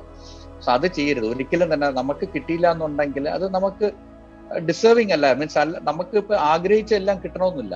We get what we deserve അല്ലെങ്കിൽ നമുക്ക് നമ്മുടെ തലയിൽ എന്ത് എഴുതിയിട്ടുണ്ടോ അതേ കിട്ടുള്ളൂ അത് ക്രിക്കറ്റ് ആണെങ്കിലും ശരി നമ്മളെ പഠിത്തത്തിലാണെങ്കിലും ശരി. നമ്മൾ അതിൽ സങ്കടം പറഞ്ഞിട്ടോ അതിലോട്ട് ദേഷ്യപ്പെട്ടിട്ടോ ഒന്നും കാര്യമില്ല. നമ്മൾ അടുത്ത നമ്മൾ ഈ രണ്ട് മണിക്കൂർ കഴിഞ്ഞിട്ടുള്ള ബാക്കിയുള്ള ഇരുപത്തിരണ്ട് മണിക്കൂർ ഇപ്പൊ ഫിറ്റ്നസ്സിനാണെങ്കിലും ശരി. അത് ഒരിക്കലും നമുക്കിപ്പോ കളിച്ചുകൊണ്ട് നമ്മുടെ ഫിറ്റ്നസ് ബെറ്റർ ആണെന്നുണ്ടെങ്കിൽ നമ്മുടെ മീൻസ് നമ്മുടെ കാഴ്ചപ്പാട് ബെറ്റർ ആവും നമുക്ക് ഫ്രണ്ട് സർക്കിൾ ബെറ്റർ ആവും നമുക്ക് കോൺഫിഡൻസ് ബെറ്റർ ആവും നമ്മൾക്ക് തോൽവിയിൽ നിന്ന് പഠിക്കാൻ പറ്റും. ഇങ്ങനത്തെ കുറെ കാര്യങ്ങൾ നമ്മൾ കളിച്ച് മുകളിലോട്ട് പോയില്ലെങ്കിൽ പോലും ബാക്കിയുള്ള കാര്യങ്ങൾ നമുക്ക് കൂടെ നിൽക്കാനുള്ള ഒരു നമ്മുടെ ലൈഫ് ലെസൻസ് നമുക്ക് കിട്ടാനുള്ള സാധ്യത ഉള്ളതാണ്. ആൻഡ് നമ്മൾ ഈ ഫ്രീ ആയിട്ട് കളിക്കുന്ന സമയത്ത് നമ്മൾ എത്രത്തോളം നമ്മൾ മൈൻഡ് ഫ്രീ ആയിട്ട് വെക്കുന്നുണ്ടോ നമ്മൾ വേറെ എക്സ്ട്രാ പ്രഷറും ഞാൻ ഈ കൊല്ലം അണ്ടർ നയന്റീൻ കളിച്ചില്ലെങ്കിൽ ഞാൻ തകർന്നു പോകും അല്ലെങ്കിൽ എനിക്ക് ഇനി കളിക്കാൻ പറ്റില്ല രഞ്ജി ട്രോഫി കളിച്ചില്ലെങ്കിൽ ഞാൻ ഒരു ക്രിക്കറ്റർ ഒരു കളിച്ചിട്ട് കാര്യമില്ല. അങ്ങനെ പ്രഷർ ഇട്ട് വന്നു കഴിഞ്ഞാൽ നമുക്ക് കിട്ടാനുള്ള സാധ്യത ഭയങ്കര കുറവാണ്. നമ്മൾ ആ സെലക്ഷൻ മാച്ചിന് പോകുമ്പം നമുക്ക് ആ പ്രഷർ അതിജീവിക്കാനുള്ള സാധ്യത കുറവാണ്. നമ്മൾ എത്രത്തോളം റിലാക്സ്ഡ് ആയിട്ടിരിക്കുന്നുണ്ടോ നമ്മൾ എത്രത്തോളം സിമ്പിളായിട്ട് വെക്കുന്നുണ്ടോ ഇപ്പൊ ആ ബോൾ ഇട്ട് കഴിഞ്ഞാൽ നമ്മൾ എങ്ങനെ കളിക്കണം? അതിപ്പം നമ്മൾ വീട്ടിൽ കളിക്കുകയാണെങ്കിലും നമ്മുടെ തെരുവിൽ കളിക്കുകയാണെങ്കിലും നെറ്റ്സിൽ കളിക്കുകയാണെങ്കിലും മാച്ചിൽ കളിക്കുകയാണെങ്കിലും ഒരേപോലെ നമുക്ക് കളിക്കാൻ പറ്റിയാൽ അതാണ് നമ്മുടെ സക്സസ് നമുക്ക് ബോൾ ചെയ്യുന്നത് ഇപ്പം ഞാൻ ഏറ്റവും ഒരു കൊച്ചു ഒരു ഒരു പയ്യന് ബോൾ ചെയ്യുന്ന ബോൾ എത്ര റിലാക്സ്ഡ് ആയിട്ട് ബോൾ ചെയ്യുന്ന ബോൾ എനിക്ക് ഏറ്റവും മികച്ച ബാറ്റ്സ്മാൻ നല്ലൊരു ബോൾ എല്ലാവർക്കും നല്ല ബോൾ തന്നെയാണ്. സോ അത് എനിക്ക് ഏത് ഏത് സിറ്റുവേഷനിലും എറിയാൻ പറ്റുമോ? അതാണ് നമ്മൾ നോക്കേണ്ട. ഈ പിള്ളേർ നോക്കേണ്ട കാര്യങ്ങൾ അതാണ്. അല്ലാണ്ട് നമ്മൾ എനിക്ക് ഐ പി എൽ കിട്ടുമോ ഐ പി എൽ കിട്ടിയ എനിക്ക് രണ്ട് കോടി കിട്ടുമോ അല്ലെങ്കിൽ ഒരു അഞ്ച് കോടി? ഇതെല്ലാം റിസൾട്ടാണ് നമ്മൾ റിസൾട്ടിലോട്ട് കിടന്ന് ഓടിക്കഴിഞ്ഞാൽ നമ്മുടെ നമുക്ക് ചെയ്യാൻ പറ്റുന്ന കാര്യങ്ങളിലോട്ട് നമ്മൾ വിട്ടു നമ്മൾ കൺട്രോളിൽ നമ്മുടെ കയ്യിൽ നമുക്ക് ഒരു കൺട്രോൾ ഇല്ലാത്ത കാര്യങ്ങളിലോട്ട് നമ്മൾ സെലക്ഷൻ നമുക്ക് ഒരു കൺട്രോളും ഇല്ല. നമുക്ക് കിട്ടണമെന്നില്ല. ഐ പി എൽ കിട്ടുമോ ഉറപ്പില്ല. കേരള ടീമിൽ സെലക്ഷൻ കിട്ടൂ ഉറപ്പില്ല. അങ്ങനെ നമ്മൾ കിട്ടാത്ത കാര്യത്തിലോട്ട് നമ്മൾ കൂടുതലായിട്ടും നമ്മൾ കയറി സ്ട്രെസ് ചെയ്യുന്ന നമ്മൾ ഒഴിവാക്കുക മാക്സിമം കൊറോണ കാലമാണ് ഒരുപാട് ഫിസിക്കൽ ആക്ടിവിറ്റീസ് ഒന്നും ഇല്ല. നമ്മൾ വീടിന്റെ ഒരു നാല് ചുവരിലേക്ക് ഒതുങ്ങിപ്പോയിട്ടിരിക്കുന്ന ഒരു സമയമാണ്. അപ്പൊ ഞങ്ങളുടെ അത്യാവശ്യം ഒരു സിനിമ ഓറിയന്റഡ് ആയിട്ടുള്ള ഒരു ചാനലാണ് അതുകൊണ്ട് ചോദിക്കുകയാണ് അപ്പൊ സിനിമകളൊക്കെ കാണാറുണ്ടോ? അതിനെയൊക്കെ വിലയിരുത്താറുണ്ടോ ഈ കൊറോണ കാലം ഞാൻ ഒരു ഞാൻ കളിക്കുന്ന സമയം മുതലേ ഒരുപാട് ഒരുപാട് സിനിമ കാണാറുണ്ട്. അതുകൊണ്ട് നമ്മുടെ മൈൻഡ് ഒന്ന് റിലീവ് ചെയ്യാനും സ്ട്രെസ് നമ്മുടെ ഫീൽഡിൽ നിന്ന് വേറൊരു ഫീൽഡിലേക്ക് നമ്മൾ ഒരു മനസ്സ് മാറ്റി നിർത്തുന്നത് വളരെ നല്ലൊരു കാര്യമാണ്. ഇപ്പം എക്സാമിനേഷൻ ടൈം ആണെങ്കിൽ പോലും നമ്മൾ കളി കളിച്ചിട്ടില്ലെന്നുണ്ടെങ്കിൽ നമ്മൾ കുറച്ചു നേരം ഒരു ടി വിയിൽ ഇപ്പൊ പാട്ടാണെങ്കിലും ശരി സിനിമയാണെങ്കിലും ശരി ഞാൻ തീർച്ചയായിട്ടും ഒരുപാട് സിനിമകൾ ഞാൻ കാണാറുണ്ട്. ഇപ്പം കൂടുതലും കാണുന്നത് ഇപ്പൊ ആമസോൺ പ്രൈമിൽ നിന്നും നെറ്റ്ഫ്ലിക്സിൽ നിന്നും അങ്ങനെ നമുക്ക് കാണാൻ പറ്റുന്നുള്ളൂ. തിയേറ്ററിൽ കാണാൻ പോകാൻ പറ്റുന്നില്ല. ലാസ്റ്റ് ഒരു ഒന്നര കൊല്ലമായിട്ട് വീട്ടിൽ തന്നെയാണ്. പക്ഷെ മാക്സിമം എപ്പോഴൊക്കെ കാണാൻ പറ്റൂ?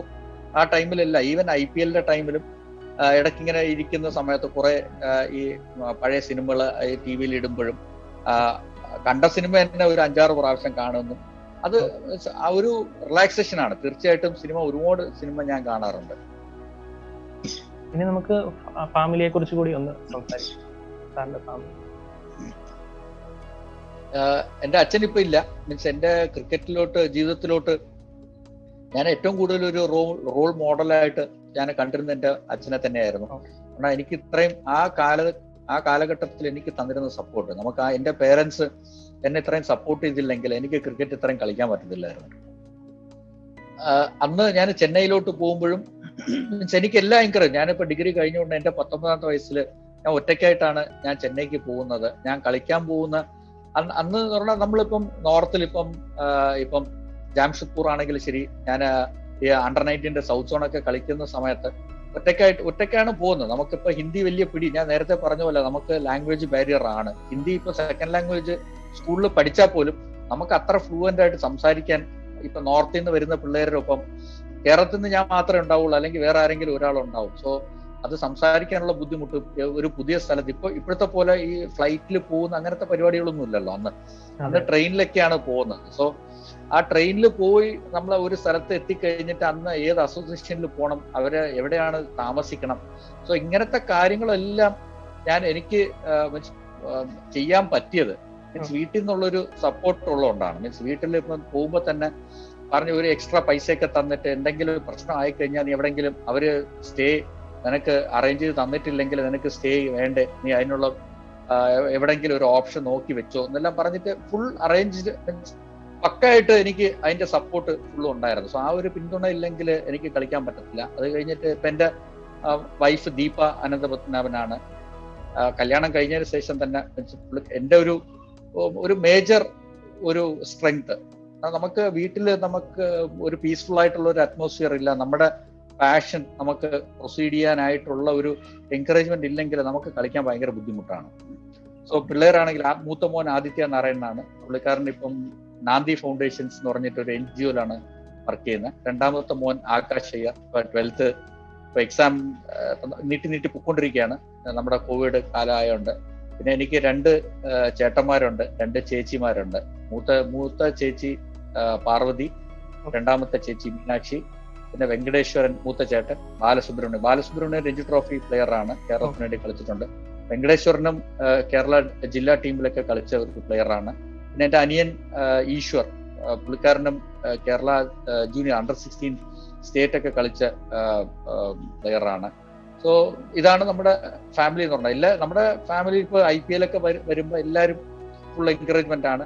ഇപ്പോഴും ഞാൻ എന്റെ അമ്മയെ വിളിക്കാണ്ട് ഞാൻ ഒരു മാച്ചിന് പോകാറില്ല കാരണം എനിക്ക് അങ്ങനെ ഒരു ഒരു ബിലീഫാണ് കാരണം അമ്മയുടെ അടുത്ത് പറഞ്ഞ് ബ്ലെസ്സിങ്സ് വാങ്ങിച്ചു കഴിഞ്ഞാൽ എനിക്കെല്ലാം പക്കായിട്ട് പോകും എന്നുള്ള ഒരു ഒരു തോന്നലാണ്. കാരണം അത് കളിക്കുന്ന കാലം മുതലേ അതുള്ളതാണ്. അച്ഛനമ്മ ഉള്ളപ്പം അച്ഛന്റെ അടുത്ത് അമ്മയുടെ അടുത്ത് ബ്ലെസ്സിങ്സ് വാങ്ങിക്കാണ്ട് ഞാൻ പോകാറില്ല സോ അതിപ്പോഴും തുടർന്ന് പോകുന്നുണ്ട്. സോ മീൻസ് ഞാൻ നേരത്തെ പറഞ്ഞ പോലെ എനിക്ക് ദൈവത്തോട് ഒരു കംപ്ലൈൻസ് ഒന്നുമില്ല. കിട്ടിയതിന് എല്ലാത്തിനും വളരെ വളരെ നന്ദി എന്ന് മാത്രമേ പറയാനൂ സാറ് വേറൊരു ഇന്റർവ്യൂ ഓൾറെഡി പറഞ്ഞിട്ടുള്ളതാണ്. ഓരോ വിജയം ഞാൻ നേടുമ്പോഴും ഞാൻ പത്രം എടുത്ത് വായിച്ചു നോക്കാറുണ്ട്. എന്റെ ഭയങ്കര ലെങ്തി ആയിട്ടൊരു പേരാണ്. അത് എഴുതി കാണിച്ച് കാണുമ്പോൾ ഭയങ്കര ഒരു സന്തോഷമാണ്. ഇപ്പൊ റീസെന്റ് ഐ പി എല്ലിൽ തന്നെ സാർ ഫീൽഡിലായിരുന്നുകൊണ്ട് കേട്ടോന്ന് എനിക്കറിയില്ല. ഹർഷ ബോഗ്ലെ അടുത്തിരുന്ന ഫോറിൻ കമന്റേറ്ററോട് ചോദിച്ചു. Do you know the full name of Anantha Padmanabhan it's Karumanassery Narayana Iyer Ananthapadman വളരെ ക്യാച്ചിങ് ആയിട്ടുള്ള ഒരു നെയിമാണ് അപ്പൊ ആ പേര് ഒരുപക്ഷെ പ്രശസ്തി എല്ലാം കൂടെ വരുമ്പോൾ ആ പേര് കിട്ടിയ ഒരു ഭാഗ്യമായിട്ട് കരുതുന്നുണ്ട്. തീർച്ചയായിട്ടും. എന്ന് പറഞ്ഞാൽ ഞാൻ ആദ്യം കളിച്ച് വരുന്ന സമയത്ത് പേര് വരുന്നു വരുമ്പോഴേ പേര് പത്രത്തിൽ വരുമ്പോൾ ഒരു നമ്മുടെ സ്പേസ് കുറച്ച് കൂടുതലായിട്ടാണല്ലോ എടുക്കുന്നത്. പേര് ഇപ്പൊ എന്റെ പേര് വരുമ്പം അപ്പം അത് വരുമ്പോൾ കൂടുതൽ ആൾക്കാർ ശ്രദ്ധിക്കാനുള്ളൊരു ചാൻസ് ഉണ്ടായിരുന്നു. ഞാൻ പേപ്പർ കട്ടിങ് ഒരുപാട് ഈ ജോലിക്കൊക്കെ വേണ്ടി ഐ ഒ ബി കിട്ടുന്നവരെ ഞാൻ ഈ പേപ്പർ കട്ടിങ്സ് ഒക്കെ എടുത്തു വെക്കുമായിരുന്നു അത് തൊണ്ണൂറ്റി മൂന്ന് വരെ. സോ ഈ എൺപത്തഞ്ച് മുതൽ തൊണ്ണൂറ്റി മൂന്ന് വരെയുള്ള എല്ലാ പേപ്പർ കട്ടിങ്സ് വരുമ്പോഴും ഞാനത് എടുത്തു വെച്ച് ഹൈലൈറ്റ് ഒക്കെ ചെയ്ത് ഇത്രയും മൂന്ന് വിക്കറ്റ് കിട്ടി നാല് വിക്കറ്റ് കിട്ടി അങ്ങനെ അത് അല്ലെങ്കിൽ ഒരു അമ്പത് അടിച്ചു സെഞ്ചുറി അടിച്ചു അങ്ങനെ വരുന്നതെല്ലാം. അപ്പൊ അതിലെല്ലാവർക്കും എനിക്ക് എല്ലാവരും ശ്രദ്ധിക്കപ്പെടാനുള്ള ഒരു കാരണം എനിക്ക് തോന്നിയിരുന്ന ഈ ഈ നീണ്ട പേരായോണ്ടാണ് എനിക്ക് പെട്ടെന്ന് റെക്കഗ്നിഷൻ കിട്ടി കാരണം ഈ പേര് റെഗുലർ ആയിട്ട് വരുമ്പം ആൾക്കാർ അത് നോട്ടീസ് ചെയ്യുന്നുണ്ടായിരുന്നു. സോ തീർച്ചയായിട്ടും അതും ഇപ്പൊ ട്രിവാൻഡ്രത്ത് ഞാനിപ്പോ ഏത് സ്ഥലത്താണ് ജനിച്ചതെന്നുള്ളതൊന്നും ആർക്കും വലിയ സംശയം ഉണ്ടാവത്തില്ല. അല്ലെങ്കിൽ ഞാൻ എവിടെ നിന്നാണ് വരുന്നത് എന്നാൽ അനന്തപത്മാവിന്റെ മണ്ണിൽ നിന്ന് തന്നെയാണ് വരുന്നതെന്നുള്ളത് സോ ആ ഒരു പേരിന്റെ കൂടെ എനിക്ക് മീൻസ് ആ ഒരു ഐഡന്റിറ്റി എനിക്ക് കിട്ടിയെന്ന് എനിക്ക് തോന്നിയിട്ടുണ്ട്. കാരണം ആ ഒരു അനുഗ്രഹം തീർച്ചയായിട്ടും ഉണ്ടായിട്ടുണ്ട്. ഇപ്പൊ നിർഭാഗ്യങ്ങളുടെ ഒരു രാജകുമാരൻ എന്ന പേരിലല്ല അനന്തപത്മനാഭൻ എന്ന പേര് കേരളക്കാരെ അറിയപ്പെടേണ്ടത്.